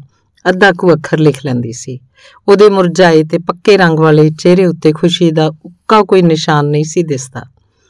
ਲੰਮੀਆਂ ਚਿਮਣੀਆਂ ਵਾਲੀਆਂ ਕਾਲੀਆਂ ਸ਼ਾਹ ਅੱਖਾਂ 'ਚੋਂ ਕੋਈ ਲਿਸ਼ਕ ਨਹੀਂ ਸੀ। ਇਹ ਕਿਉਂ ਨਹੀਂ ਹੱਸਦੀ? ਹੀਰਾ ਦੇਵੀ ਨੂੰ ਅਚਾਨਕ ਹੀ ਖਿਆਲ ਆਇਆ ਤੇ ਫਿਰ ਉਸੇ ਵਾਂਗ ਉਹਦਾ ਆਪਣਾ ਚਿਹਰਾ ਵੀ ਗੰਭੀਰ ਹੋ ਗਿਆ। ਬੱਚੇ ਹੱਸਦੇ ਰਹੇ, ਸ਼ੋਕਾ ਮੂੰਹ 'ਚ ਉਂਗਲਾਂ ਪਾਉਂਦਾ, ਅੱਖਾਂ ਮਟਕਾਉਂਦਾ, ਦੂਜੇ ਨਿਆਣਿਆਂ ਨੂੰ ਬਾਂਦਰ ਵਾਂਗ ਖੁਰਖੁਰ ਕਰਕੇ ਡਰਾਉਂਦਾ, ਫੱਟੀ ਦੇ ਅਗਲੇ ਅੱਖਰ ਲਿਖਦਾ ਰਿਹਾ। ਛਿੰਦੀ ਦੂਜੇ ਬੱਚਿਆਂ ਤੋਂ ਸਬਕ ਸੁਣਨ ਜਾ ਲੱਗੀ। ਪਰ ਹੀਰਾ ਦੇਵੀ ਦੇ ਮਨ ਅੰਦਰ ਘੂਰ ਨਿਕਲੇ। ਗਲੋਟੇ ਵਾਂਗ ਅਨੇਕਾਂ ਤੰਦਾਂ ਉਲਝ ਗਈਆਂ ਸਨ। ਕਦੇ ਚਿਹਰੇ ਤੇ ਮੁਸਕਰਾਹਟ ਆ ਜਾਂਦੀ, ਕਦੇ ਚਾਨਚਕ ਉਦਾਸੀ ਦਾ ਪਰਛਾਵਾਂ ਅੱਖਾਂ ਸਾਹਮਣੇ ਧੁੰਦ ਜਿਹੀ ਖਿਲਾਰ ਦਿੰਦਾ। ਤੇ ਅੰਤ ਇਹ ਦਿਨ ਵੀ ਬੀਤ ਗਿਆ। ਰਾਤ ਨੂੰ ਜਦੋਂ ਰੋਟੀ ਖਾ ਕੇ ਸੌਣ ਲੱਗੀ ਤਾਂ ਹੇਠਲਾ ਬੂਹਾ ਖੜਕਦਾ ਸੁਣਿਆ। ਦਾਦੀ ਨੂੰ ਭੇਜਿਆ ਪਲਕ ਪਿੱਛੋਂ ਪੌੜੀਆਂ ਵਿੱਚੋਂ ਜਾਣੀ ਪਛਾਣੀ ਪੈੜ ਚਾਲ ਸੁਣੀ ਤਾਂ ਇੱਕਦਮ ਉੱਠ ਕੇ ਬਹਿੰਦਿਆਂ ਮੂੰਹੋਂ ਨਿਕਲ ਗਿਆ, ਕੇਸਰੀ ਕਈ ਵਾਰ ਕਿਵੇਂ ਮਨ ਦੀ ਇੱਛਾ ਪੁੱਗ ਜਾਂਦੀ ਹੈ, ਕੇਸਰੀ ਸੱਚੀ ਬੂਹੇ ਤੇ ਖੜੋਤੀ ਸੀ। ਉਹਦਾ ਰੰਗ ਰੂਪ ਨਿਖਰਿਆ ਲੱਗਦਾ ਸੀ, ਪਰ ਕੱਪੜੇ ਪੁਰਾਣੇ ਪਾਏ ਸੀ। ਚਿਹਰੇ ਉੱਤੇ ਮੁਸਕਰਾਹਟ ਦੇ ਨਾਲ ਪਲੱਤੀ ਜੀ ਸੰਗ ਦੀ ਭਾਅ ਸੀ। ਹੀਰਾ ਦੇਵੀ ਤੋਂ ਆਪਣੀ ਖੁਸ਼ੀ ਕਾਬੂ ਨਹੀਂ ਕੀਤੀ ਗਈ। ਆ ਭੈਣ ਕੇਸਰੀਏ, ਕਹਿੰਦੇ ਆ ਉੱਠੀ ਤੇ ਕੇਸਰੀ ਦੇ ਉਹਦੇ ਪੈਰਾਂ ਵੱਲ ਨਿਵਣ ਤੋਂ ਪਹਿਲਾਂ ਉਹਨੂੰ ਗਲਵੱਕੜੀ 'ਚ ਘੁੱਟ ਲਿਆ। ਕੇਸਰੀ ਦਾ ਹੈਰਾਨੀ ਨਾਲ ਜਿਵੇਂ ਸਾਹ ਹੀ ਰੁਕ ਗਿਆ। ਬਿੰਦ ਦਾ ਬਿੰਦ ਉਹਨੂੰ ਸੰਗ ਮੰਨੀ, ਪਰ ਫਿਰ ਜੇਰਾ ਕਰਕੇ ਜਫੀ ਪਾ ਲਈ। ਦੋਹਾਂ ਨੇ ਇੱਕ ਦੂਜੀ ਨੂੰ ਜਿਵੇਂ ਰੱਜ ਕੇ ਕੁੱਟਿਆ ਤੇ ਫਿਰ ਹੀਰਾ ਦੇਵੀ ਉਹਨੂੰ ਬਾਹੋਂ ਫੜ ਕੇ ਆਪਣੇ ਆਸਣ ਤੇ ਲੈ ਆਈ। ਤੂੰ ਬੜਾ ਚੰਗਾ ਕੀਤਾ ਕੇਸਰੀਏ, ਬੜਾ ਚੰਗਾ ਕੀਤਾ ਜੋ ਆ ਗਈ। ਕਿੰਨੇ ਦਿਨ ਮੈਨੂੰ ਉਡੀਕਦੀ ਨੂੰ ਹੋ ਗਏ ਸੀ। ਚਿੱਤ ਦੀ ਖੁਸ਼ੀ ਕਾਬੂ ਨਹੀਂ ਸੀ ਹੋ ਰਹੀ ਤੇ ਉਹ ਕੇਸਰੀ ਦੀ ਨਿਆਣਿਆਂ ਵਾਂਗ ਕਦੇ ਪਿੱਠ, ਕਦੇ ਮੋਢੇ, ਕਦੇ ਬਾਹ ਨੂੰ ਪਲੋਸਦੀਆਂ ਬਾਰ-ਬਾਰ ਕਹਿ ਰਹੀ ਸੀ, ਤੂੰ ਬੜਾ ਚੰਗਾ ਕੀਤਾ, ਤੂੰ ਬੜਾ ਹੀ ਚੰਗਾ ਕੀਤਾ। ਪਰ ਕੇਸਰੀ ਨੂੰ ਅਜੇ ਵੀ ਇਤਬਾਰ ਨਹੀਂ ਸੀ ਆ ਰਿਹਾ। ਉਹਦੇ ਮੂੰਹੋਂ ਕੋਈ ਵੀ ਬੋਲ ਨਹੀਂ ਸੀ ਨਿਕਲ ਰਿਹਾ। ਬਸ ਅੰਦਰ ਉਛਲ-ਉਛਲ ਕੇ ਅੱਖਾਂ ਸਿੱਲੀਆਂ ਹੋ ਰਹੀਆਂ ਸੀ। ਅੱਛਾ ਜੀ, ਮੈਂ ਤਾਂ ਕੇਸਰਾਂ ਦੀ ਖਾਤਰ ਰੋਟੀ ਪਾਉਂ ਅਕ ਪਹਿਲੇ ਚਾਹ ਕਰ ਦਿਉ ਦਾਦੀ ਨੇ ਖੁਸ਼ੀ ਨਾਲ ਆਪਣੇ ਚਿਹਰੇ ਦੀਆਂ ਸੰਘਣੀਆਂ ਝੁਰੜੀਆਂ ਨੂੰ ਫਰਕਾਉਂਦਿਆਂ ਕਿਹਾ। ਕੇਸਰੀ ਉਬੜਵਾਈ ਬੋਲੀ, ਨਾ ਦਾਦੀ, ਰੋਟੀ ਮੈਂ ਖਾ ਕੇ ਆਈ ਆ। ਚਾਹ ਦੀ ਵੀ ਕੋਈ ਲੋੜ ਨਹੀਂ। ਆਪਣੇ ਘਰ ਆ ਕੇ ਕੋਈ ਲੋੜ ਨਹੀਂ। ਖਾਇਆ ਕਰੇ ਸਹਿ ਕੇ। ਦਾਦੀ ਆਪਣੀ ਥੋੜਾ ਮੂੰਹ ਅੱਡਦਿਆਂ ਹੱਸੀ। ਪਗਲੀ ਤੈ ਇਸ, ਇਸੀ ਬਾਤ ਮਨੇ ਕੀ ਐਸੈ? ਮਨੇ ਤੇਰਾ ਬੇਰਾ ਕੋਨੀ ਕੇ ਤੈ ਕਿਥੇ ਚਾਹ ਪੀਆ ਕਰੇ? ਕਿਥੇ ਰੋਟੀ ਜੀਮੀਆਂ ਕਰੇ? ਬੋਲਦੀ ਬੋਲਦੀ ਸੁਰਤੀ ਬਾਹਰ ਚਲੀ ਗਈ। ਹੋਰ ਸੁਣਾ ਕੇਸਰੀਏ, ਤੂੰ ਕਿੱਥੇ ਰਹੀ? ਕੀ ਕੀਤਾ? ਪੇਕੇ ਰਹੀ ਕਿ ਸਹੁਰੇ? ਬਿਨਾਂ ਦੱਸੇ ਪੁੱਛੇ, ਤੇਰਾ ਮੈਨੂੰ ਕੱਲੀ ਛੱਡ ਕੇ ਜਾਣ ਜੀ ਕਿਵੇਂ ਕੀਤਾ? ਹੀਰਾ ਦੇਵੀ ਇੱਕੋ ਸਾਹ ਇੰਨੀਆਂ ਗੱਲਾਂ ਪੁੱਛ ਗਈ ਸੀ ਕਿ ਕੇਸਰੀ ਨੂੰ ਪਤਾ ਨਹੀਂ ਸੀ ਲੱਗ ਰਿਹਾ ਕਿ ਉਹ ਕੀ ਉੱਤਰ ਦੇਵੇ। ਉਹਨੂੰ ਚੁੱਪ ਬੈਠੀ ਵੇਖ ਕੇ ਹੀਰਾ ਦੇਵੀ ਮੁੜ ਉਹਦੇ ਮੋਢਿਆਂ ਨੂੰ ਬਾਲਾਂ ਵਾਂਗ ਪਲੋਸਣ ਲੱਗ ਪਈ। ਅਚਾਨਕ ਹੀ ਉਹਨੂੰ ਇੰਨਾ ਮੋਹ ਆਉਣ ਲੱਗ ਪਿਆ ਕਿ ਉਹਨੂੰ ਗੋਦੀ 'ਚ ਬਿਠਾ ਕੇ ਪਿਆਰ ਕਰਨ ਨੂੰ ਜੀ ਕਰਦਾ ਸੀ, ਪਰ ਅਜੇ ਵੀ ਝਿਜਕ ਦੀ ਕੰਧ ਵਿਚਕਾਰ ਖੜੋਤੀ ਸੀ, ਜੋ ਅਜੇ ਖੁੱਲ ਤੋਂ ਵਰਜਦੀ ਸੀ। ਤੂੰ ਕੁਛ ਤਾਂ ਬੋਲ ਭੈਣ ਮੇਰੀ, ਹੀਰਾ ਦੇਵੀ ਨੇ ਉਹਦੇ ਮੋਢਿਆਂ ਉੱਤੋਂ ਦੀ ਬਾਹ ਵਲਾ ਕੇ ਕੰਗੀ ਪਾਉਂਦੇ ਆਪਣੇ ਨਾਲ ਮੁੜ ਘੁੱਟਦਿਆਂ ਕਿਹਾ, ਤੂੰ ਤਾਂ ਐਂ ਚੁੱਪ ਕਰੀ ਬੈਠੀ ਐ ਜਿਵੇਂ ਨਵੀਂ ਵਿਆਹੀ ਬਹੂ ਹੁੰਦੀ ਐ। ਕੇਸਰੀ ਹੋਰ ਵੀ ਹੈਰਾਨ ਹੋ ਗਈ।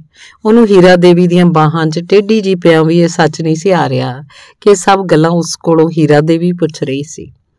ਇਉਂ ਵੀ ਬੰਦਾ ਇੰਨਾ ਬਦਲ ਜਾਂਦਾ ਹੈ। ਇਹ ਸੋਚਦੇ ਉਸ ਮੂੰਹ ਪੁਆ ਕੇ ਗੌ ਨਾਲ ਹੀਰਾ ਦੇਵੀ ਦੀਆਂ ਐਨਕਾਂ ਵੱਲ ਤੱਕਿਆ ਤੇ ਫਿਰ ਅਚਾਨਕ ਹੀ ਪਤਾ ਨਹੀਂ ਕੀ ਹੋਇਆ ਕਿ ਉਹਨੂੰ ਬੇਝਿਜਕ ਹੋ ਕੇ ਜੱਫੀ ਪਾਉਂਦਿਆਂ ਨਿਆਣਿਆਂ ਵਾਂਗ ਉਹਦੀ ਛਾਤੀ 'ਚ ਸਿਰ ਲੁਕਾ ਕੇ ਹੁਬਕੀ ਹੁਬਕੀ ਰੋਣ ਲੱਗ ਪਈ। ਹੈ ਕਮਲੀ, ਹੀਰਾ ਦੇਵੀ ਨੇ ਉਹਨੂੰ ਬਾਹਾਂ 'ਚ ਘੁੱਟਦਿਆਂ ਜਿਵੇਂ ਵਰਚਾਇਆ। ਇਹ ਵੀ ਭਲਾ ਕੋਈ ਗੱਲ ਬਣੀ।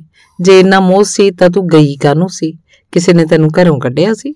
ਪਿੱਛੋਂ ਫਿਰ ਜੇ ਚਿੱਠੀਆਂ ਪਾਪਾ ਪੁੱਛਦੀ ਫਿਰੀ, ਮੈਂ ਆ ਜਾਵਾਂ ਜੇ ਇੱਥੇ ਰਹਿੰਦੀ ਤਾਂ ਤੈਨੂੰ ਕੀ ਆਖਣਾ ਸੀ? ਮੇਰਾ ਤਾਂ ਸਗੋਂ ਤੇਰੇ ਬਿਨਾ ਪਲ ਵੀ ਜੀ ਨਹੀਂ ਸੀ ਲੱਗਦਾ। ਤੈਨੂੰ ਨਹੀਂ ਪਤਾ ਕੇਸਰੀਏ ਮੈਂ ਤੈਨੂੰ ਕਿੰਨਾ ਯਾਦ ਕਰਦੀ ਰਹੀ ਹਾਂ ਮੋਹ ਜਾਲ 'ਚ ਫਸੀ ਆਤਮਾ ਦੇ ਖੰਭ ਵੀ ਜਿਵੇਂ ਝੜ ਗਏ ਸਨ। ਕੇਸਰੀ ਉਹਦੀ ਛਾਤੀ 'ਚ ਸਿਰ ਲੁਕਾਈ ਭੁੱਬਾ ਮਾਰਨ ਲੱਗ ਪਈ ਸੀ। ਤੇ ਉਹ ਆਪ ਮੁੜ-ਮੁੜ ਸਾੜੀ ਦੇ ਪੱਲੇ ਨਾਲ ਅੱਖਾਂ ਪੂੰਝਦੀ, ਉਹਨੂੰ ਦਿਲਾਸਾ ਦਿੰਦਿਆਂ ਜਿਵੇਂ ਉਹਨੂੰ ਨਹੀਂ, ਆਪਣੇ ਮਨ ਨੂੰ ਹੀ ਵਰਾ ਰਹੀ ਸੀ। ਖਾਸੇ ਚਿਰ ਪਿੱਛੋਂ ਜਦੋਂ ਮਨ ਹੌਲੇ ਹੋ ਗਏ ਤਾਂ ਕੇਸਰੀ ਨੂੰ ਹੀਰਾ ਦੇਵੀ ਹੁਣ ਪਹਿਲਾਂ ਵਾਂਗ ਪਵਿੱਤਰ, ਦੂਰ ਖੜੋਤੀ, ਭਗਤ ਆਤਮਾ ਨਹੀਂ ਸੀ ਜਾਪਦੀ। ਉਹਦਾ ਬਦਲਿਆ ਰੂਪ ਆਪਣਾ ਜਿਹਾ ਹੀ ਲੱਗਿਆ।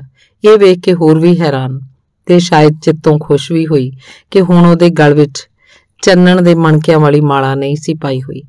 ਮਾਲਾ ਨਾਲ ਉਹਦਾ ਚਿਹਰਾ ਕੇਸਰੀ ਨੂੰ ਸਦਾ ਬੁੱਢਾ ਤੇ ਉਦਾਸ ਲੱਗਦਾ ਸੀ, ਪਰ ਹੁਣ ਉਹ ਜਵਾਨ ਲੱਗ ਰਹੀ ਸੀ। ਇੱਥੋਂ ਜਾ ਕੇ ਪਛਤਾਈ ਤਾਂ ਬੜਾ। ਕੇਸਰੀ ਨੇ ਮਨ ਤਕੜਾ ਕਰਕੇ ਆਪਣੀ ਵਿਥਿਆ ਚੋਈ। ਪਰ ਤੁਹਾਡੀ ਹਾਲਤ ਤੇ ਆਪਣੀ ਦੁਬਿਧਾ ਮੈਥੋਂ ਚੱਲੀ ਨਹੀਂ ਸੀ ਜਾਂਦੀ। ਨਾਲੇ ਉਹ ਦਿਨ ਰਾਤ ਪ੍ਰੇਤ ਵਾਂਗ ਪਿੱਛੇ ਲੱਗਿਆ ਰਹਿੰਦਾ ਸੀ। ਬਥੇਰਾ ਭਗਵਾਨ ਅੱਗੇ ਪ੍ਰਾਰਥਨਾ ਕੀਤੀਆਂ। ਸਾਰੇ ਦੇਵੀ ਦੇਵਤਿਆਂ ਨੂੰ ਸਿਮਰਿਆ, ਪਰ ਕੋਈ ਨਹੀਂ ਬੋੜਿਆ। ਫਿਰ ਮੈਂ ਕੀ ਕਰਦੀ? ਉਹ ਤਾਂ ਇੱਕ ਪਲ ਵੀ ਪਿੱਛਾ ਨਹੀਂ ਸੀ ਛੱਡਦਾ। ਇਹ ਉਹ ਕੌਣ ਹੋਇਆ? ਹੀਰਾ ਦੇਵੀ ਨੇ ਅਨਕ ਲਾ ਕੇ ਸੱਜੀ ਅੱਖ ਨੂੰ ਦੋ ਉਂਗਲਾਂ ਦੇ ਪੋਟਿਆਂ ਨਾਲ ਪਲੋਸਦਿਆਂ ਮੁਸਕਰਾ ਕੇ ਕਿਹਾ। ਤੇ ਬੇਝਿਜਕ ਹੁੰਦਿਆਂ ਪੁੱਛਿਆ, ਕਿਤੇ ਇਹ ਤੇਰਾ, ਉਹ ਉਹ ਤਾਂ ਨਹੀਂ ਜਿਹਦੀਆਂ ਤੂੰ ਗੱਲਾਂ ਸੁਣਾਉਂਦੀ ਹੁੰਦੀ ਸੀ ਤੇ ਮੈਂ ਤੈਨੂੰ ਝਿੜਕਦੀ ਹੁੰਦੀ ਸੀ ਵੀ ਮੇਰੇ ਕੋਲ ਉਹਦੀ ਗੱਲ ਨਾ ਕਰਿਆ ਕਰ। ਹਾਂਜੀ, ਕੇਸਰੀ ਨੇ ਸ਼ਰਮਾ ਕੇ ਨੀਵੀਂ ਪਾ ਲਈ। ਬਿੰਦਕ ਚੁੱਪ ਰਹਿਣ ਪਿੱਛੋਂ ਹੀਰਾ ਦੇਵੀ ਨੂੰ ਮੁਸਕਰਾਉਂਦਿਆਂ ਵੇਖ ਕੇ ਹੌਸਲੇ ਨਾਲ ਬੋਲੀ, ਉਹ ਜੀ, ਮੇਰਾ ਪਿੱਛਾ ਨਹੀਂ ਸੀ ਛੱਡਦਾ। ਕਈ ਵਾਰ ਥੋਥੋ ਚੋਰੀਆਂ ਇੱਥੇ ਵੀ ਆ ਜਾਂਦਾ ਹੁੰਦਾ ਸੀ, ਫਿਰ ਬੰਦਾ ਕਿੰਨਾ ਕਜੇਰਾ ਕਰ ਸਕਦਾ ਹੀਰਾ ਦੇਵੀ ਮੂਰਤ ਬਣੀ ਉਹਦੇ ਮੂੰਹ ਵੱਲ ਤੱਕਦੀ ਰਹੀ ਤੇ ਕੇਸਰੀ ਨੇ ਸਾਰੀ ਕਹਾਣੀ ਤੁਰ ਤੱਕ ਸੁਣਾ ਦਿੱਤੀ। ਜਦੋਂ ਉਹਨੇ ਗੱਲ ਮੁਕਾਈ ਤਾਂ ਹੀਰਾ ਦੇਵੀ ਨੂੰ ਡੂੰ, ਨੇ ਡੂੰਗਾ ਹੌਕਾ ਭਰ ਕੇ ਹਿੱਕ ਤੋਂ ਭਾਰ ਜਿਹਾ ਲਾਉਂਦਿਆਂ ਪੁੱਛਿਆ, ਫਿਰ ਹੁਣ ਉਹ ਕਿੱਥੇ ਆ ਤੇਰਾ ਭਗਵਾਨ? ਕੇਸਰੀ ਭਗਵਾਨ ਸ਼ਬਦ ਸੁਣ ਕੇ ਇੱਕ ਵਾਰ ਫੇਰ ਸੰਗ ਗਈ, ਪਰ ਮੁਸਕਰਾ ਕੇ ਬੋਲੀ, ਮੇਰੇ ਨਾਲ ਹੀ ਆਇਆ ਜੀ, ਕਿੱਥੇ ਹੈ ਹੈਰਾਨ ਹੋ ਕੇ ਹੀਰਾ ਦੇਵੀ ਬੋਲੀ, ਉਹਨੂੰ ਇੱਥੇ ਕਿਉਂ ਨਹੀਂ ਲਿਆਂਦਾ?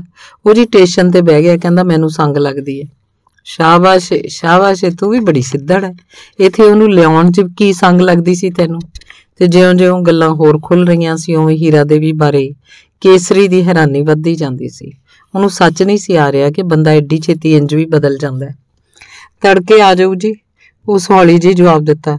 ਉਹ ਆਪਦੀ ਮਰਜ਼ੀ ਨਾਲ ਹੀ ਉੱਥੇ ਰਿਹਾ। ਮੈਂ ਤਾਂ ਕਿਹਾ ਸੀ, ਕਹਿੰਦਾ, ਆਪਣਾ ਕੋਈ ਘਰ ਕਿਰਾਏ ਤੇ ਲੈ ਕੇ ਫੇਰ ਜਾਉਂ। ਕੱਲ ਨੂੰ ਕੋਈ ਨਿੱਕਾ ਮੋਟਾ ਚੁਬਾਰਾ ਵੇਖ ਲਵਾਂਗੇ ਜੀ। ਇਹ ਠੀਕ ਹੈ। ਹੀਰਾ ਦੇਵੀ ਜਿਵੇਂ ਰੋਸ ਨਾਲ ਬੋਲੀ, ਕਿਉਂ? ਇੱਥੇ ਤੁਹਾਡੇ ਜੋਗਾ ਥਾਂ ਨਹੀਂ। ਕੁਮਾਂ ਦਾ ਘਰ ਪਿਆ, ਸੁੱਖ ਨਾਲ ਇੱਕ ਕਮਰਾ ਤੁਸੀਂ ਲੈ ਲਿਓ। ਕੇਸਰੀ ਉਹਦੀ ਹਮਦਰਦੀ ਨਾਲ ਚਿੱਤੋਂ ਅਤਿਅੰਤ ਸ਼ੁਕਰਗੁਜ਼ਾਰ ਸੀ, ਪਰ ਉਹਨੂੰ ਪਤਾ ਸੀ ਕਿ ਇਹ ਗੱਲ ਉਹ ਸਿਰਫ ਕਹਿਣ ਲਈ ਹੀ ਕਹਿ ਰਹੀ ਸੀ। ਉਹ ਤਾਂ ਜੀ ਠੀਕ ਹੈ, ਉਸ ਕਿਹਾ, ਪਰ ਉਹਨੇ ਉੱਥੇ ਰਹਿਣਾ ਨਹੀਂ, ਹੋਰ ਹੋਰ ਸੁਭਾਅ ਦਾ ਬੰਦਾ ਹੈ ਜੀ। ਵੇਖੋ ਨਾ ਮੈਂ ਕਿਹੇ ਹੋਰ ਸੁਭਾਅ ਦਾ ਉਹਦੀ ਮੀਰਾਬਾਈ ਜਦੋਂ ਮੇਰੇ ਕੋਲ ਭੈਣਾ ਵਾਂਗੂ ਇੰਨਾ ਚਿਰ ਕੱਟ ਸਕਦੀ ਹੈ, ਤਾਂ ਉਹ ਤੋਂ ਕਿਵੇਂ ਨਹੀਂ ਰਿਹਾ ਜੋ ਵੱਡੇ ਸਾਹਿਬ ਤੋਂ।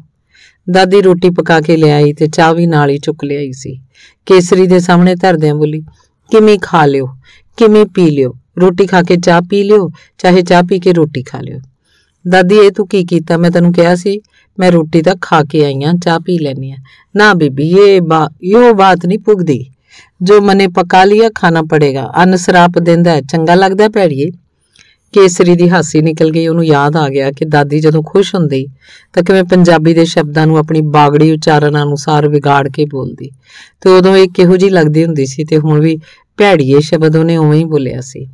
ਖਾ ਲੈ, ਹੀਰਾ ਦੇਵੀ ਨੇ ਵੀ ਦਾਦੀ ਵੱਲ ਵੇਖ ਕੇ ਫਿਰ ਕੇਸਰੀ ਵੱਲ ਝਾਕਦਿਆਂ ਰਤਾ ਵਿਅੰਗ ਨਾਲ ਕਿਹਾ, ਖਾ ਲੈ, ਪਹਿਲੀ ਵਾਰ ਫੇਰੀ ਪਾਈ ਹੈ ਦਾਦੀ ਨੇ ਸ਼ਗਨ ਵੀ ਮਨਾਉਣਾ ਹੋਇਆ ਨਾ, ਅਜੇ ਤਾਂ ਖੰਡ ਪਾਉਣੀ ਸੀ ਇਹਨੇ। ਹਾਂ ਭਾਈ ਜ਼ਰੂਰ। ਦਾਦੀ ਨੇ ਹੀਰਾ ਦੇਵੀ ਦੀ ਗੱਲ ਦੀ ਰਮਜ਼ ਸਮਝੇ ਬਿਨਾਂ ਹੀ ਸਿਰ ਹਿਲਾਉਂਦਿਆਂ ਕਿਹਾ, ਖਾਂਡ ਦੇਸੀ ਤੋਂ ਥੀ ਕੋਨੀ ਨਹੀਂ, ਮੈਂ ਤਾਂ ਪਾ ਦਿੰਦੀ। ਖਾਂਡ ਕੋਈ ਕੇਸਰੀ ਤੇ ਚੰਗੀ ਸਹਿ। ਵਾਤਾਵਰਨ ਹੀ ਬੜਾ ਸੁਖਾਵਾ ਹੋ ਗਿਆ ਸੀ। ਤਿੰਨੇ ਜਣੀਆਂ ਨੂੰ ਜਿਵੇਂ ਕੁਝ ਗਵਾਚਿਆ ਲੱਭ ਪਿਆ ਸੀ। ਰੋਟੀ ਖਾਂਦਿਆਂ, ਚਾਹ ਪੀਂਦਿਆਂ ਵੀ ਕੇਸਰੀ ਹੁਣ ਖੁੱਲ ਕੇ ਗੱਲਾਂ ਕਰਦੀ ਰਹੀ। ਪਹਿਲਾਂ ਉਸ ਉਸ ਸ਼ਹਿਰ ਦੀਆਂ ਗੱਲਾਂ ਸੁਣਾਈਆਂ ਜਿੱਥੇ ਉਹ ਭੱਜ ਕੇ ਗਈ ਸੀ। ਪੇਕਿਆਂ ਦੀਆਂ ਸੁਣਾਈਆਂ ਤੇ ਉਸ ਪਿੱਛੋਂ ਆਪਣੇ ਪਤੀ ਦੀਆਂ ਗੱਲਾਂ ਬੇਝਿਜਕ ਸੁਣਾਉਂਦੀ ਰਹੀ। ਕਿੰਨਾ ਚਿਰ ਦੋਏ ਪੁਰਾਣੀਆਂ ਯਾਦਾਂ ਵੀ ਦੁਹਰਾਉਂਦੀਆਂ ਰਹੀਆਂ। ਹੀਰਾ ਦੇਵੀ ਨੇ ਵੀ ਅੱਜ ਪਹਿਲੀ ਵਾਰ ਆਪਣੇ ਭਰਾ ਜੀ ਤੇ ਉਹਨਾਂ ਦੇ ਪਰਿਵਾਰ ਨਾਲ ਹੋਏ ਤੋੜ ਵਿਛੋੜੇ ਦੀਆਂ ਘਟਨਾਵਾਂ ਸਿੱਧੜ ਜਿਹੇ ਸ਼ਬਦਾਂ 'ਚ ਸੁਣਾਈਆਂ ਤੇ ਇਹਦੇ ਉੱਤੇ ਸਿਰਫ ਦਾਦੀ ਨੂੰ ਹੀ ਰਤਾ ਹੈਰਾਨੀ ਹੋਈ। ਕੇਸਰੀ ਲਈ ਹੁਣ ਜਿਵੇਂ ਉਹ ਸਧਾਰਨ ਗੱਲਾਂ ਹੀ ਸਨ। ਤੇ ਜਦੋਂ ਗੱਲਾਂ ਕਰਦੀਆਂ ਕਰਦੀਆਂ ਸੁੱਤੀਆਂ ਤਾਂ ਹੀਰਾ ਦੇਵੀ ਨੂੰ ਗੂੜੀ ਮਿੱਠੀ ਨੀਂਦ 'ਚੋਂ ਅਲੋਕਾਰ ਸੁਪਨੇ ਆਏ ਜੋ ਅੱਜ ਤੱਕ ਕਦੇ ਨਹੀਂ ਸੀ ਆਏ। ਇੱਕ ਨਿੱਕੇ ਜਿਹੇ ਸੁਪਨੇ 'ਚ ਉਸ ਵੇਖਿਆ ਕਿ ਉਹ ਮੁੜ ਅਲੜ ਕੁੜੀ ਬਣ ਗਈ ਹੈ ਤੇ ਸਹੇਲੀਆਂ ਨਾਲ ਤੀਆਂ 'ਚ ਜਾਣ ਲਈ ਤਿਆਰ ਹੋ ਰਹੀ ਹੈ। ਤੀਆਂ 'ਚ ਜਾ ਕੇ ਉਹਨੇ ਪੀਂਗ ਝੂਟੀ ਕੁੜੀਆਂ ਗੀਤ ਗਾਉਂਦੀਆਂ ਰਹੀਆਂ। ਕੋਈ ਬੜਾ ਹੀ ਸੋਹਣਾ ਗੀਤ ਜਿਹਦੇ ਬੋਲਾਂ ਦੀ ਸਮਝ ਤਾਂ ਨਹੀਂ ਸੀ ਆ ਰਹੀ, ਪਰ ਲੈ ਬੜੀ ਮਿੱਠੀ ਸੀ। ਪਰ ਪੀਂਗ ਸਿਖਰ ਹੁਲਾਰੇ ਤੇ ਜਾ ਕੇ ਡੋਲ ਗਈ। ਉਹਦਾ ਹੇਠਲਾ ਸਾਹ ਹੇਠ ਤੇ ਉਤਲਾ ਉੱਤੇ ਹੀ ਰਹਿ ਗਿਆ। ਸਹਿਮ ਨਾਲ ਅੱਖਾਂ ਮੀਟੀਆਂ ਗਈਆਂ ਤੇ ਫਿਰ ਪਤਾ ਨਹੀਂ ਲੱਗਿਆ ਕਿ ਉਹ ਹੇਠਾਂ ਡਿੱਗ ਪਈ ਕਿ ਉਹ ਤਾਂ ਅਸਮਾਨ ਤੇ ਜਾ ਚੜੀ ਤੇ ਉਦੋਂ ਹੀ ਉਹਦੀ ਅੱਖ ਖੁੱਲ ਗਈ। ਨੀਂਦ ਉੱਕਾ ਉੱਡ ਉੱਡ ਗਈ। ਚੁਬਾਰੇ ਦੀਆਂ ਸਾਰੀਆਂ ਖਿੜਕੀਆਂ ਤੇ ਬੂਹੇ ਖੁੱਲੇ ਸਨ, ਰੋਸ਼ਨਦਾਨ ਵੀ ਖੁੱਲੇ ਸਨ। ਉਹਨਾਂ ਦੇ ਰੰਗ ਬਰੰਗੇ ਸ਼ੀਸ਼ਿਆਂ ਵਿੱਚੋਂ ਦੀ ਤਾਰਿਆਂ ਦਾ ਚਾਨਣ ਛਣ ਛਣ ਕੇ ਅੰਦਰ ਆ ਰਿਹਾ ਸੀ। ਇਸੇ ਚਾਨਣ ਵਾਂਗ ਕੁਕੜਾਂ ਦੀਆਂ ਦੱਬਵੀਆਂ ਬਾਂਗਾਂ ਸੁਣ ਰਹੀਆਂ ਸੀ। ਇਹਨਾਂ ਬਾਂਗਾਂ ਵਿੱਚੋਂ ਇੱਕ ਕਪਾਹ ਵਾਲੇ ਕਾਰਖਾਨੇ ਦੀਆਂ ਵੇਲਣੀਆਂ ਦੀ ਖੜਖੜ ਵੀ ਸੁਣਦੀ ਸੀ। ਬੜੀ ਕੁਰਖਤ ਆਵਾਜ਼ ਸੀ, ਜੋ ਤੋਂ ਝੱਲੀ ਨਹੀਂ ਸੀ ਜਾ ਰਹੀ। ਵਿਸਾਖ ਦਾ ਅੱਧ ਸੀ, ਪਰ ਠੰਡ ਅਜੇ ਵੀ ਅੰਦਰ ਪਿਆ ਖੇਸ ਜੋਗੀ ਸੀ। ਉਹਨੇ ਪੈਰਾਂ ਨਾਲ ਗਰਮ ਚਾਦਰ ਨੂੰ ਟੋਇਆ ਤੇ ਉੱਤੇ ਲੈ ਲਿਆ। ਬਿੰਦਕ ਪਿੱਛੋਂ ਜਦ ਅੱਖਾਂ ਮੁੜ ਮਿਚਣ ਲੱਗੀਆਂ, ਤਾਂ ਖਿਆਲ ਆਇਆ ਕਿ ਅੱਜ ਐਤਵਾਰ ਸੀ। ਉਹਨੇ ਮੰਦਰ ਜ਼ਰੂਰ ਜਾਣਾ ਸੀ। ਫਿਰ ਖਿਆਲ ਆਇਆ ਕਿ ਜੇ ਅੱਖ ਲੱਗ ਗਈ, ਤਾਂ ਮੁੜ ਜਾਗ ਨਹੀਂ ਆਏਗੀ। ਪਰ ਕੇਸਰੀ ਉਹਦੇ ਕੋਲ ਸੁੱਤੀ ਹੋਈ ਸੀ, ਦਾਦੀ ਵੀ ਪਰਲੇ ਖੁੰਝੇ ਲੇਟੀ ਸੀ। ਸੈਮ ਘਟਣ ਲੱਗ ਪਿਆ ਤਾਂ ਅੱਖਾਂ ਮਿਚ ਗਈਆਂ। ਪਤਲੀ, ਗਰਮੀ, ਗਰਮ ਚਾਦਰ ਦਾ ਨਿੱਘ ਆਉਣ ਲੱਗ ਪਿਆ ਤੇ ਮੁੜ ਗੂੜੇ ਸੁਪਨਿਆਂ ਦੀ ਦੁਨੀਆ 'ਚ ਗਵਾਚ ਗਈ। ਜਦੋਂ ਫੇਰ ਅੱਖ ਖੁੱਲੀ ਤਾਂ ਚਿੱਟਾ ਦਿਨ ਚੜਿਆ ਹੋਇਆ ਸੀ। ਕੇਸਰੀ ਰਸੋਈ 'ਚ ਚਾਹ ਪਾਣੀ ਦੀ ਆਰੀ ਲੱਗੀ ਹੋਈ ਸੀ ਤੇ ਦਾਦੀ ਸ਼ਾਇਦ ਨਹਾ ਧੋ ਕੇ ਮੰਦਰ ਚਲੀ ਗਈ ਸੀ।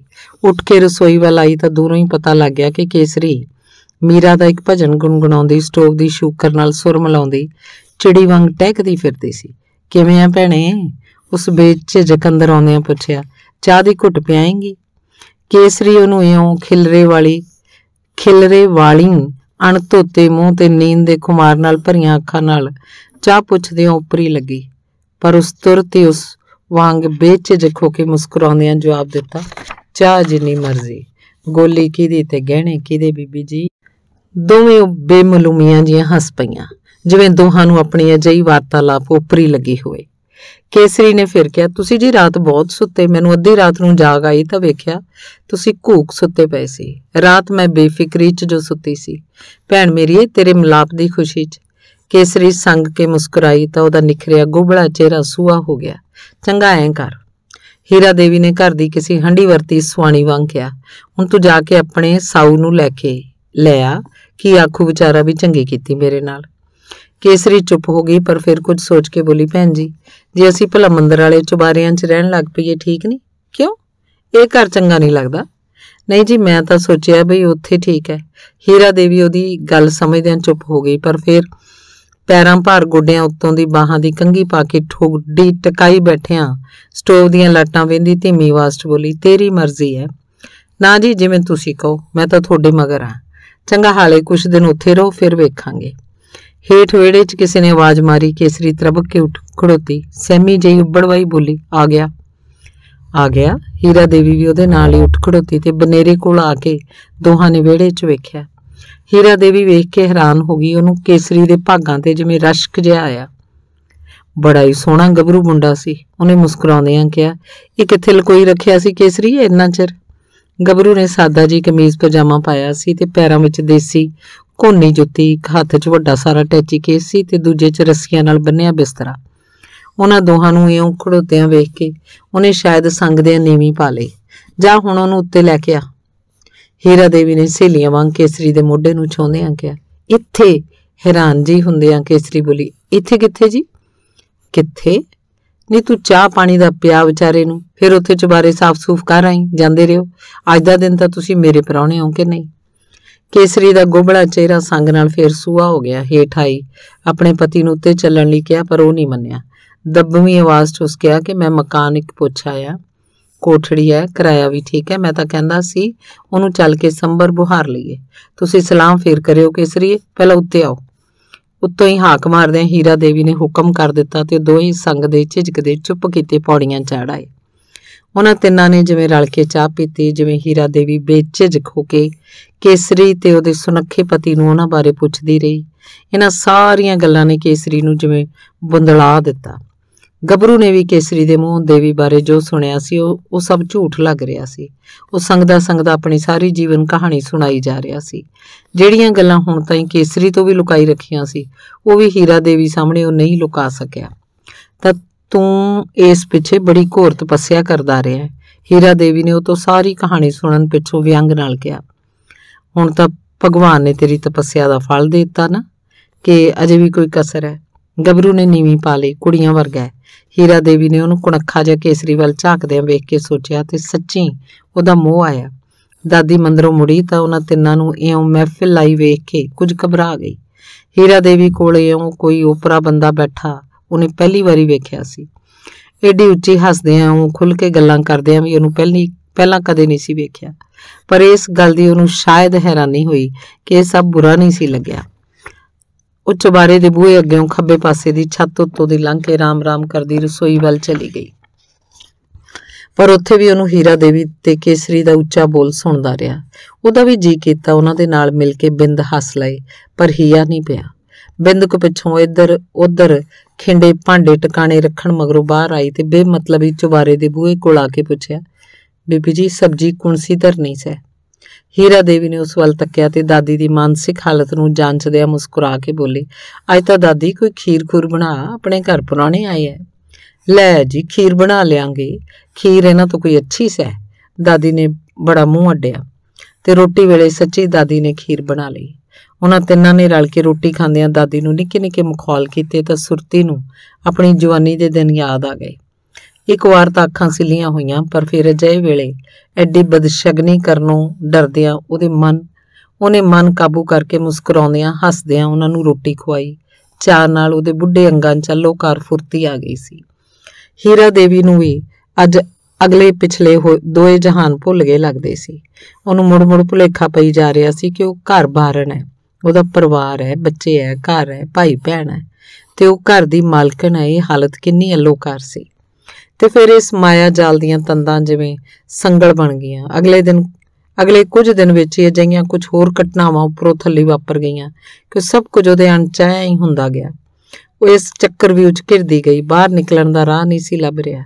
ਪਹਿਲੀ ਘਟਨਾ ਇਹ ਵਾਪਰੀ ਕਿ ਕੇਸਰੀ ਤੇ ਉਹਦੇ ਪਤੀ ਨੂੰ ਉਸ ਮੰਦਰ ਦੇ ਚੁਬਾਰਿਆਂ 'ਚ ਰਹਿਣ ਦੀ ਆਗਿਆ ਤਾਂ ਦੇਤੀ, ਪਰ ਇਹ ਨਹੀਂ ਸੋਚਿਆ ਕਿ ਅਜਿਹੇ ਫੈਸਲੇ ਦੇ ਸਿੱਟੇ ਕੀ ਨਿਕਲ ਸਕਦੇ ਆ। ਜਦੋਂ ਇਹਦੇ ਨਤੀਜੇ ਵਜੋਂ ਉਹਨਾਂ ਦੀ ਚਰਚਾ ਪੰਡਿਤ ਕ੍ਰਿਸ਼ਨ ਕੁਮਾਰ ਰਾਈ ਘਰ ਘਰ ਅੱਗ ਵਾਂਗ ਫੈਲੀ, ਤਾਂ ਉਹਦਾ ਸੇਕ ਉਸ ਤਾਈਂ ਵੀ ਪੁੱਜ ਗਿਆ। ਫਿਰ ਪਤਾ ਨਹੀਂ ਉਹਨੂੰ ਕੀ ਹੁੰਦਾ ਜਾ ਰਿਹਾ ਸੀ, ਜਿਉਂ-ਜਿਉਂ ਸੇਕ ਵੱਧਦਾ ਗਿਆ, ਉਹਦਾ ਇਰਾਦਾ ਹੋਰ ਦ੍ਰਿੜ ਹੁੰਦਾ ਗਿਆ। ਉਹਦੀ ਛਾਵੇਂ ਰਹਿ ਰਹਿ ਪੀਲੀ ਪਈ ਦੇ ਹੁਣ ਇੰਨੇ ਥੋੜੇ ਸਮੇਂ 'ਚ ਜਿਵੇਂ ਸੂਰਜ ਦੀ ਕਰੜੀ ਧੁੱਪ ਨਾਲ ਪੱਕ ਗਈ ਸੀ।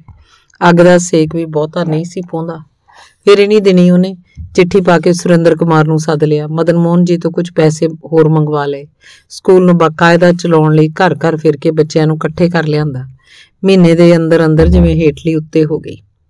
ਦੋ ਅਧਿਆਪਕਾਵਾਂ ਉਸ ਹੋਰ ਰੱਖ ਲਈਆਂ। ਕੇਸਰੀ ਨੂੰ ਚਪੜਾਸਨ ਬਣਾ ਲਿਆ। ਇੰਤਜ਼ਾਮ ਦਾ ਸਾਰਾ ਕੰਮ ਆਪ ਸੰਭਾਲ ਕੇ ਪੜ੍ਹਾਈ ਦੀ ਸਾਰੀ ਜ਼ਿੰਮੇਵਾਰੀ ਸੁਰਿੰਦਰ ਕੁਮਾਰ ਨੂੰ ਸੌਂਪ ਦਿੱਤੀ। ਪਹਿਲਾਂ ਪੰਜਵੀਂ ਤੱਕ ਬੱਚੇ ਦਾਖਲ ਕੀਤੇ, ਫਿਰ ਜਿਵੇਂ ਜਿਵੇਂ ਗਿਣਤੀ ਵਧਦੀ ਗਈ 6ਵੀਂ ਜਮਾਤ ਵੀ ਚਾਲੂ ਕਰ ਲਈ। ਜੇਠ ਦੇ ਅੱਧ ਵਿੱਚ ਜਾ ਕੇ ਉਹਨੂੰ ਇਉਂ ਲੱਗਣ ਲੱਗ ਪਿਆ ਕਿ ਉਹ ਹੁਣ ਆਪਣੀ ਇਸ ਦੁਨੀਆ ਤੇ ਮਾਇਆ ਜਾਲ ਚੋਂ ਕਿਵੇਂ ਵੀ ਨਿਕਲ ਨਹੀਂ ਸਕੇਗੀ। ਜਿਵੇਂ ਜਿਵੇਂ ਸੂਰਜ ਦਾ ਤਪ ਤੇਜ਼ ਵੱਧਦਾ ਵੱਧ ਰਿਹਾ ਸੀ, ਲੋਕਾਂ ਦੀ ਚਰਚਾ ਦਾ ਸੇਕ ਵੀ ਵੱਧਦਾ ਜਾ ਰਿਹਾ ਸੀ।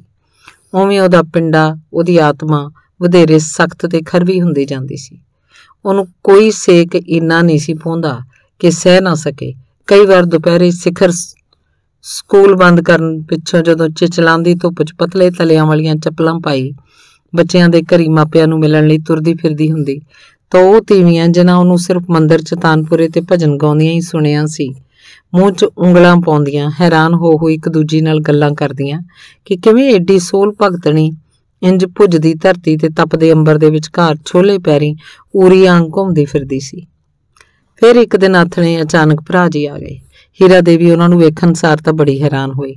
ਪਰ ਫਿਰ ਵਿਅੰਗ ਨਾਲ ਮੁਸਕਰਾ ਕੇ ਬੋਲੀ, ਅੱਜ ਭਰਾ ਜੀ ਕਿਵੇਂ ਰਾਹ ਭੁੱਲ ਗਏ? ਭਰਾ ਜੀ ਨੇ ਉਸ ਵੱਲ ਹੈਰਾਨ ਹੋ ਕੇ ਵੇਖਿਆ ਤੇ ਫਿਰ ਖੱਬੇ ਸੱਜੇ ਇਉਂ ਝਾਕੇ ਜਿਵੇਂ ਬੈਠਣ ਲਈ ਕੋਈ ਕੁਰਸੀ ਆਦ ਲੱਭਦੇ ਹੋਣ। ਕੁਰਸੀਆਂ ਜੋਗੇ ਤਾਂ ਭਰਾ ਜੀ ਅਜੇ ਪੈਸੇ ਹੈ ਨਹੀਂ। ਤੁਸੀਂ ਇੱਧਰ ਆਸਣ ਤੇ ਬੈਠਣ ਦੀ ਖੇਚਲ ਕਰੋ। ਉਸੇ ਵੇਲੇ ਭਰਾ ਜੀ ਨੇ ਦੇ ਮੱਥੇ ਉੱਤੇ ਕਸਵੀਆਂ ਲੀਕਾਂ ਉੱਭਰ ਆਈਆਂ ਤੇ ਰੁਮਾਲ ਕੱਢ ਕੇ ਚਿਹਰੇ ਤੋਂ ਮੁੜਕਾ ਪੂੰਝਦਿਆਂ ਨਿਰਾਸੇ ਜੇ ਆਸਣ ਦੇ ਇੱਕ ਪਾਸੇ ਬੈਠ ਗਏ। ਘਬਰਾਹਟ ਤੇ ਰੋਸ, ਉਹਨਾਂ ਦਾ ਸਿੱਧ ਪੱਧਰਾ ਚਿਹਰਾ ਲੁਕਾ ਨਹੀਂ ਸੀ ਸਕਿਆ। ਤੁਸੀਂ ਠੀਕ ਹੋ ਕੇ ਬੈਠੋ ਭਰਾ ਜੀ, ਤੁਹਾਡੀ ਭੈਣ ਦਾ ਘਰ ਹੈ। ਕਿਸੇ ਉੱਪਰੇ ਘਰ ਤਾਂ ਨਹੀਂ ਬੈਠੇ। ਏਡੀ ਖੁੱਲ ਇਹ ਮੂੰਹ ਫੱਟ ਪੁਣਾ। ਭਰਾ ਜੀ ਨੂੰ ਉੱਕਾ ਚੰਗਾ ਨਹੀਂ ਸੀ ਲੱਗਿਆ, ਪਰ ਹੀਰਾ ਦੇਵੀ ਦੇ ਚਿਹਰੇ ਉੱਤੇ ਉਹਨਾਂ ਦੀ ਇਸ ਬੇਰੁਖੀ ਨੇ ਕੋਈ ਹੀਣ ਭਾਵ ਨਹੀਂ ਸੀ ਉਗੜਨ ਦਿੱਤਾ। ਕੇਸਰੀਏ, ਭਰਾ ਜੀ ਲਈ ਸ਼ਰਬਤ ਲਿਆਈ? ਉਸ, ਉਸੇ ਬੇਪਰਵਾਹੀ ਨਾਲ ਆਵਾਜ਼ ਮਾਰੀ। ਕੇਸਰੀ ਨੇ ਰਸੋਈ ਵਿੱਚੋਂ ਉੱਚੀ ਸਾਰੀ ਅੱਛਾ ਜੀ ਕਹਿ ਕੇ ਮੋੜ ਦਿੱਤਾ, ਕੀਤਾ। ਨਹੀਂ, ਮੈਂ ਕੁਝ ਨਹੀਂ ਪੀਣਾ। ਕਾਲ ਹੈ, ਮੈਂ ਬਾਹਰ ਜਾਣਾ ਬਸ ਇੱਕ ਗੱਲ ਕਹਿਣਾ ਆਇਆ ਸੀ, ਦੱਸੋ, ਹੀਰਾ ਦੇਵੀ ਦੀ ਆਵਾਜ਼ 'ਚ ਉਹ ਰੁੱਖਾਪਨ ਕਾਇਮ ਸੀ। ਭਰਾ ਜੀ ਸਹਿਮ ਜੇ ਗਏ, ਪਰ ਮੱਥੇ ਦੀਆਂ ਲੀਕਾਂ ਉਸੇ ਪਲ ਹੋਰ ਸੰਗਣੀਆਂ ਹੋ ਗਈਆਂ। ਕਰੜੀ ਆਵਾਜ਼ 'ਚ ਬੋਲੇ, ਸਾਰੇ ਸ਼ਹਿਰ 'ਚ ਚਰਚਾ ਹੁੰਦੀ ਹੈ, ਕਿਹੜੀ ਗੱਲ ਦੀ? ਹੀਰਾ ਦੇਵੀ ਨੇ ਐਨਕਾਂ ਲਾ ਲਈਆਂ ਤੇ ਉਹਦੀਆਂ ਅੱਖਾਂ ਚੰਡੀ ਵਾਂਗ ਇੱਕਦਮ ਲਾਲ ਸੂਈਆਂ ਹੋਈਆਂ ਲੱਗੀਆਂ ਤੇ ਮੁੜ ਐਨਕਾਂ ਲਾਉਂਦਿਆਂ ਬੋਲੀ, ਇਸੇ ਗੱਲ ਦੀ ਨਾ ਕਿ ਤੁਹਾਡੀ ਭੈਣ ਕੀ ਕਰਤੂਤਾ ਕਰਦੀ ਫਿਰਦੀ ਹੈ? ਘੂਰੀ ਵੱਟ ਕੇ ਭਰਾ ਜੀ ਨੇ ਉਸ ਵੱਲ ਤੱਕਿਆ। ਪਰ ਜੋ ਵਾਲ ਮਨ ਚ ਉੱਠਿਆ ਸੀ, ਉਹ ਕੱਢ ਨਹੀਂ ਸਕੇ। ਇੰਨਾ ਹੀ ਬੋਲੇ, ਇਹ ਗੱਲਾਂ ਤੇਰੇ ਵਰਗੀ ਧਰਮਾਤਮਾ ਬੀਬੀ ਨੂੰ ਸੋਭਦੀਆਂ ਨਹੀਂ ਕਿਉਂ? ਮੈਂ ਕਿਸੇ ਨਾਲ ਨਿਕਲੀ ਫਿਰਦੀ। ਹੀਰਾ ਦੇਵੀ ਦਾ ਲੂੰ ਲੂੰ ਤਪਣ ਲੱਗ ਪਿਆ। ਐਡੇ ਕਸ਼ੁਭ ਸ਼ਬਦ ਮੈਂ ਨਹੀਂ ਸੁਣ ਸਕਦਾ। ਭਰਾ ਜੀ ਭੜਕ ਪਏ। ਨਹੀਂ ਸੁਣ ਸਕਦੇ ਤਾਂ ਮੈਂ ਕਦੋਂ ਸੁਣਨ ਵਾਸਤੇ ਮਿੰਤਾਂ ਕੀਤੀਆਂ ਸੀ। ਤੁਸੀਂ ਆਪ ਆਏ ਹੋ, ਤੁਹਾਨੂੰ ਮੈਂ ਤਾਂ ਨਹੀਂ ਸੱਦਿਆ। ਇਹ ਹੋ ਕੀ ਗਿਆ ਸੀ ਉਹ ਭਰਾ ਜੀ ਨੂੰ ਸ਼ੱਕ ਪੈ ਗਿਆ ਸੀ ਕਿ ਜ਼ਰੂਰ ਉਹਦੇ ਦਿਮਾਗ 'ਚ ਕੋਈ ਨੁਕਸ ਪੈ ਗਿਆ। ਉਹਨਾਂ ਐਤਕੀ ਸੱਚੀ ਉਸ ਵੱਲ ਇਉਂ ਤੱਕਿਆ ਜਿਵੇਂ ਜਾਚ ਰਹੇ ਹੋਣ ਕਿ ਉਹ ਬਿਮਾਰ ਤਾਂ ਨਹੀਂ। ਮੈਂ ਬਿਲਕੁਲ ਠੀਕ ਹਾਂ ਭਰਾ ਜੀ। ਉਹਨਾਂ ਦੇ ਮਨ ਦੀ ਗੱਲ ਜਿਵੇਂ ਉਹਨੇ ਬੁੱਝ ਲਈ ਤੇ ਪਹਿਲਾਂ ਵਾਂਗੀ ਵਿਅੰਗ ਨਾਲ ਮੁਸਕਰਾ ਕੇ ਬੋਲੀ, ਤੁਹਾਨੂੰ ਮੇਰੇ ਬਾਰੇ ਚਿੰਤਾ ਕਰਨ ਦੀ ਕੋਈ ਲੋੜ ਨਹੀਂ। ਜੇ ਸਭ ਤੁਹਾਨੂੰ ਬੁਰਾ ਲੱਗਦਾ ਹੈ ਤਾਂ ਬੇਸ਼ੱਕ ਮੇਰੇ ਮੇਰੇ ਨਾਲ ਅੱਗੋਂ ਕੋਈ ਨਾਤਾ ਨਾ ਰੱਖੋ। ਉਹ ਤਾਂ ਹੁਣ ਵੀ ਕਿਹੜਾ ਰਿਸ਼ਤੇ ਨਾਤੇ ਤਾਂ ਬਹੁਤ ਪਿੱਛੇ ਰਹਿ ਗਏ ਖੈਰ, ਭਰਾ ਜੀ ਹਾਰੇ ਹੋਏ ਜੁਆਰੀ ਵਾਂਗ ਬੋਲੇ ਮੈਂ ਕਹਿਣ ਇਹੋ ਆਇਆ ਸੀ ਕਿ ਜੋ ਤੂੰ ਲੰਮੇ ਸਮੇਂ ਚ ਆਪਣਾ ਤਪ ਤੇਜ ਬਣਾਇਆ ਸੀ, ਜੋ ਮੈਂ ਆਪਣਾ ਲਹੂ ਪਾਣੀ ਇੱਕ ਕਰਕੇ ਤੇਰੇ ਇਸ ਤਪ ਤੇਜ ਬਣਾਉਣ ਚ ਮਦਦ ਕੀਤੀ ਸੀ, ਹੁਣ ਘਰ ਘਰ ਉਹਦੀ ਖੇ ਉੱਡਦੀ ਹੈ ਲੋਕ ਰਾਈ ਦਾ ਪਹਾੜ ਬਣਾਈ ਫਿਰਦੇ ਆ ਤੇ ਮੈਥੋਂ ਬਰਦਾਸ਼ਤ ਨਹੀਂ ਹੁੰਦਾ। ਇਹ ਤਾਂ ਤੁਹਾਡੀ ਮਰਜ਼ੀ, ਬਰਦਾਸ਼ਤ ਕਰੋ ਚਾਹੇ ਨਾ ਕਰੋ, ਪਰ ਮੈਂ ਜੋ ਕਰਨਾ ਆਪਣੀ ਮਰਜ਼ੀ ਨਾਲ ਕਰਨਾ ਹੈ ਕਿਸੇ ਦੀ ਗੁਲਾਮ ਨਹੀਂ। ਭਰਾ ਜੀ ਨੇ ਇੱਕ ਵਾਰੀ ਮੁੜ ਸ਼ੱਕੀ ਨਜ਼ਰ ਨਾਲ ਉਸ ਵੱਲ ਤੱਕਿਆ, ਫਿਰ ਡੂੰਗਾ ਹੌਕਾ ਭਰ ਕੇ ਉੱਠ ਖੜੋਤੇ। ਉਹਨਾਂ ਆਪਣੀ ਪਕੇਰੀ ਉਮਰ ਦੀ ਸਿਆਣਪ ਤੋਂ ਕੰਮ ਲਿਆ। ਹੁਣ ਗੱਲ ਵਧਾਉਣ ਦਾ ਕੋਈ ਲਾਭ ਨਹੀਂ ਸੀ।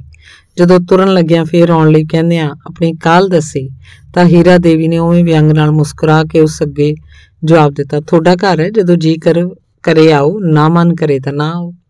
ਸ਼ਰਬਤ ਦੇ ਗਲਾਸ ਕੇਸਰੀ ਦੇ ਹੱਥਾਂ 'ਚ ਫੜੇ ਰਹਿ ਗਏ ਤੇ ਭਰਾ ਜੀ ਚਲੇ ਗਏ। ਤੇ ਜਦੋਂ ਪੌੜੀਆਂ 'ਚ ਉਹਨਾਂ ਦੇ ਬੂਟਾਂ ਦਾ ਖੜਾਕ ਹੁੰਦਾ ਕੇਸਰੀ ਨੇ ਸੁਣਿਆ, ਤਾਂ ਹੀਰਾ ਦੇਵੀ ਨੇ ਕੰਧ ਨਾਲ ਢੋਲ ਆਉਂਦਿਆਂ ਉਹਨੂੰ ਅਡੋ ਲਈ ਕਿਹਾ ਲਿਆ ਮੈਨੂੰ ਫੜਾ, ਬੜੀ ਤੇਲ ਲੱਗੀ ਹੈ ਕੇਸਰੀ ਹੈਰਾਨ ਜੀ ਹੋਈ ਪਿਛਾਂ ਭਵੀ ਤੇ ਇੱਕ ਗਲਾਸ ਉਹਨੂੰ ਫੜਾ ਦਿੱਤਾ। ਉਹਨੇ ਹਾਬੜਿਆਂ ਵਾਂਗ ਇੱਕੋ ਸਾਹ ਢੀਕ ਲਿਆ। ਫਿਰ ਦੋ ਕੁ ਲੰਮੇ ਸਾਹ ਲਏ ਤੇ ਮੱਥੇ ਤੋਂ ਸਾੜੀ ਦੇ ਪੰਨੇ ਨਾਲ ਮੁੜਕਾ ਪੂੰਝਦਿਆਂ ਬੋਲੀ, ਅੱਜ ਤਾਂ ਗਰਮੀ ਬੜੇ ਲੋੜੇ ਦੀ ਹੈ ਆ ਹੋਰ ਪੀ ਲਓ, ਮੈਂ ਤਾਂ ਪੀਣਾ ਨਹੀਂ। ਕੇਸਰੀ ਨੇ ਪਤਾ ਨਹੀਂ ਕੀ ਸੋਚ ਕੇ ਦੂਜਾ ਗਲਾਸ ਅਗਾਂਹ ਵਧਾਇਆ। ਤੂੰ ਨਹੀਂ ਪੀਣਾ? ਚੰਗਾ ਲਿਆ। ਤੇ ਪਤਾ ਨਹੀਂ ਅੱਜ ਇੰਨੀ ਕਿਉਂ ਲੱਗੀ ਜਾਂਦੀ ਹੈ ਉਸ ਦੂਜਾ ਗਲਾਸ ਵੀ ਫੜ ਕੇ ਢੀਕ ਲਿਆ। ਕੇਸਰੀ ਖਾਲੀ ਗਲਾਸ ਲੈ ਕੇ ਚਲੀ ਗਈ। ਉਹ ਐਨਕ ਲਾ ਕੇ ਅੱਖਾਂ ਮੀਟਦਿਆਂ ਠੀਕ ਹੋ ਕੇ ਲੇਟ ਗਈ।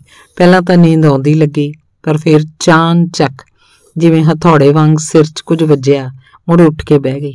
ਇਹ ਕੀ ਹੋ ਗਿਆ?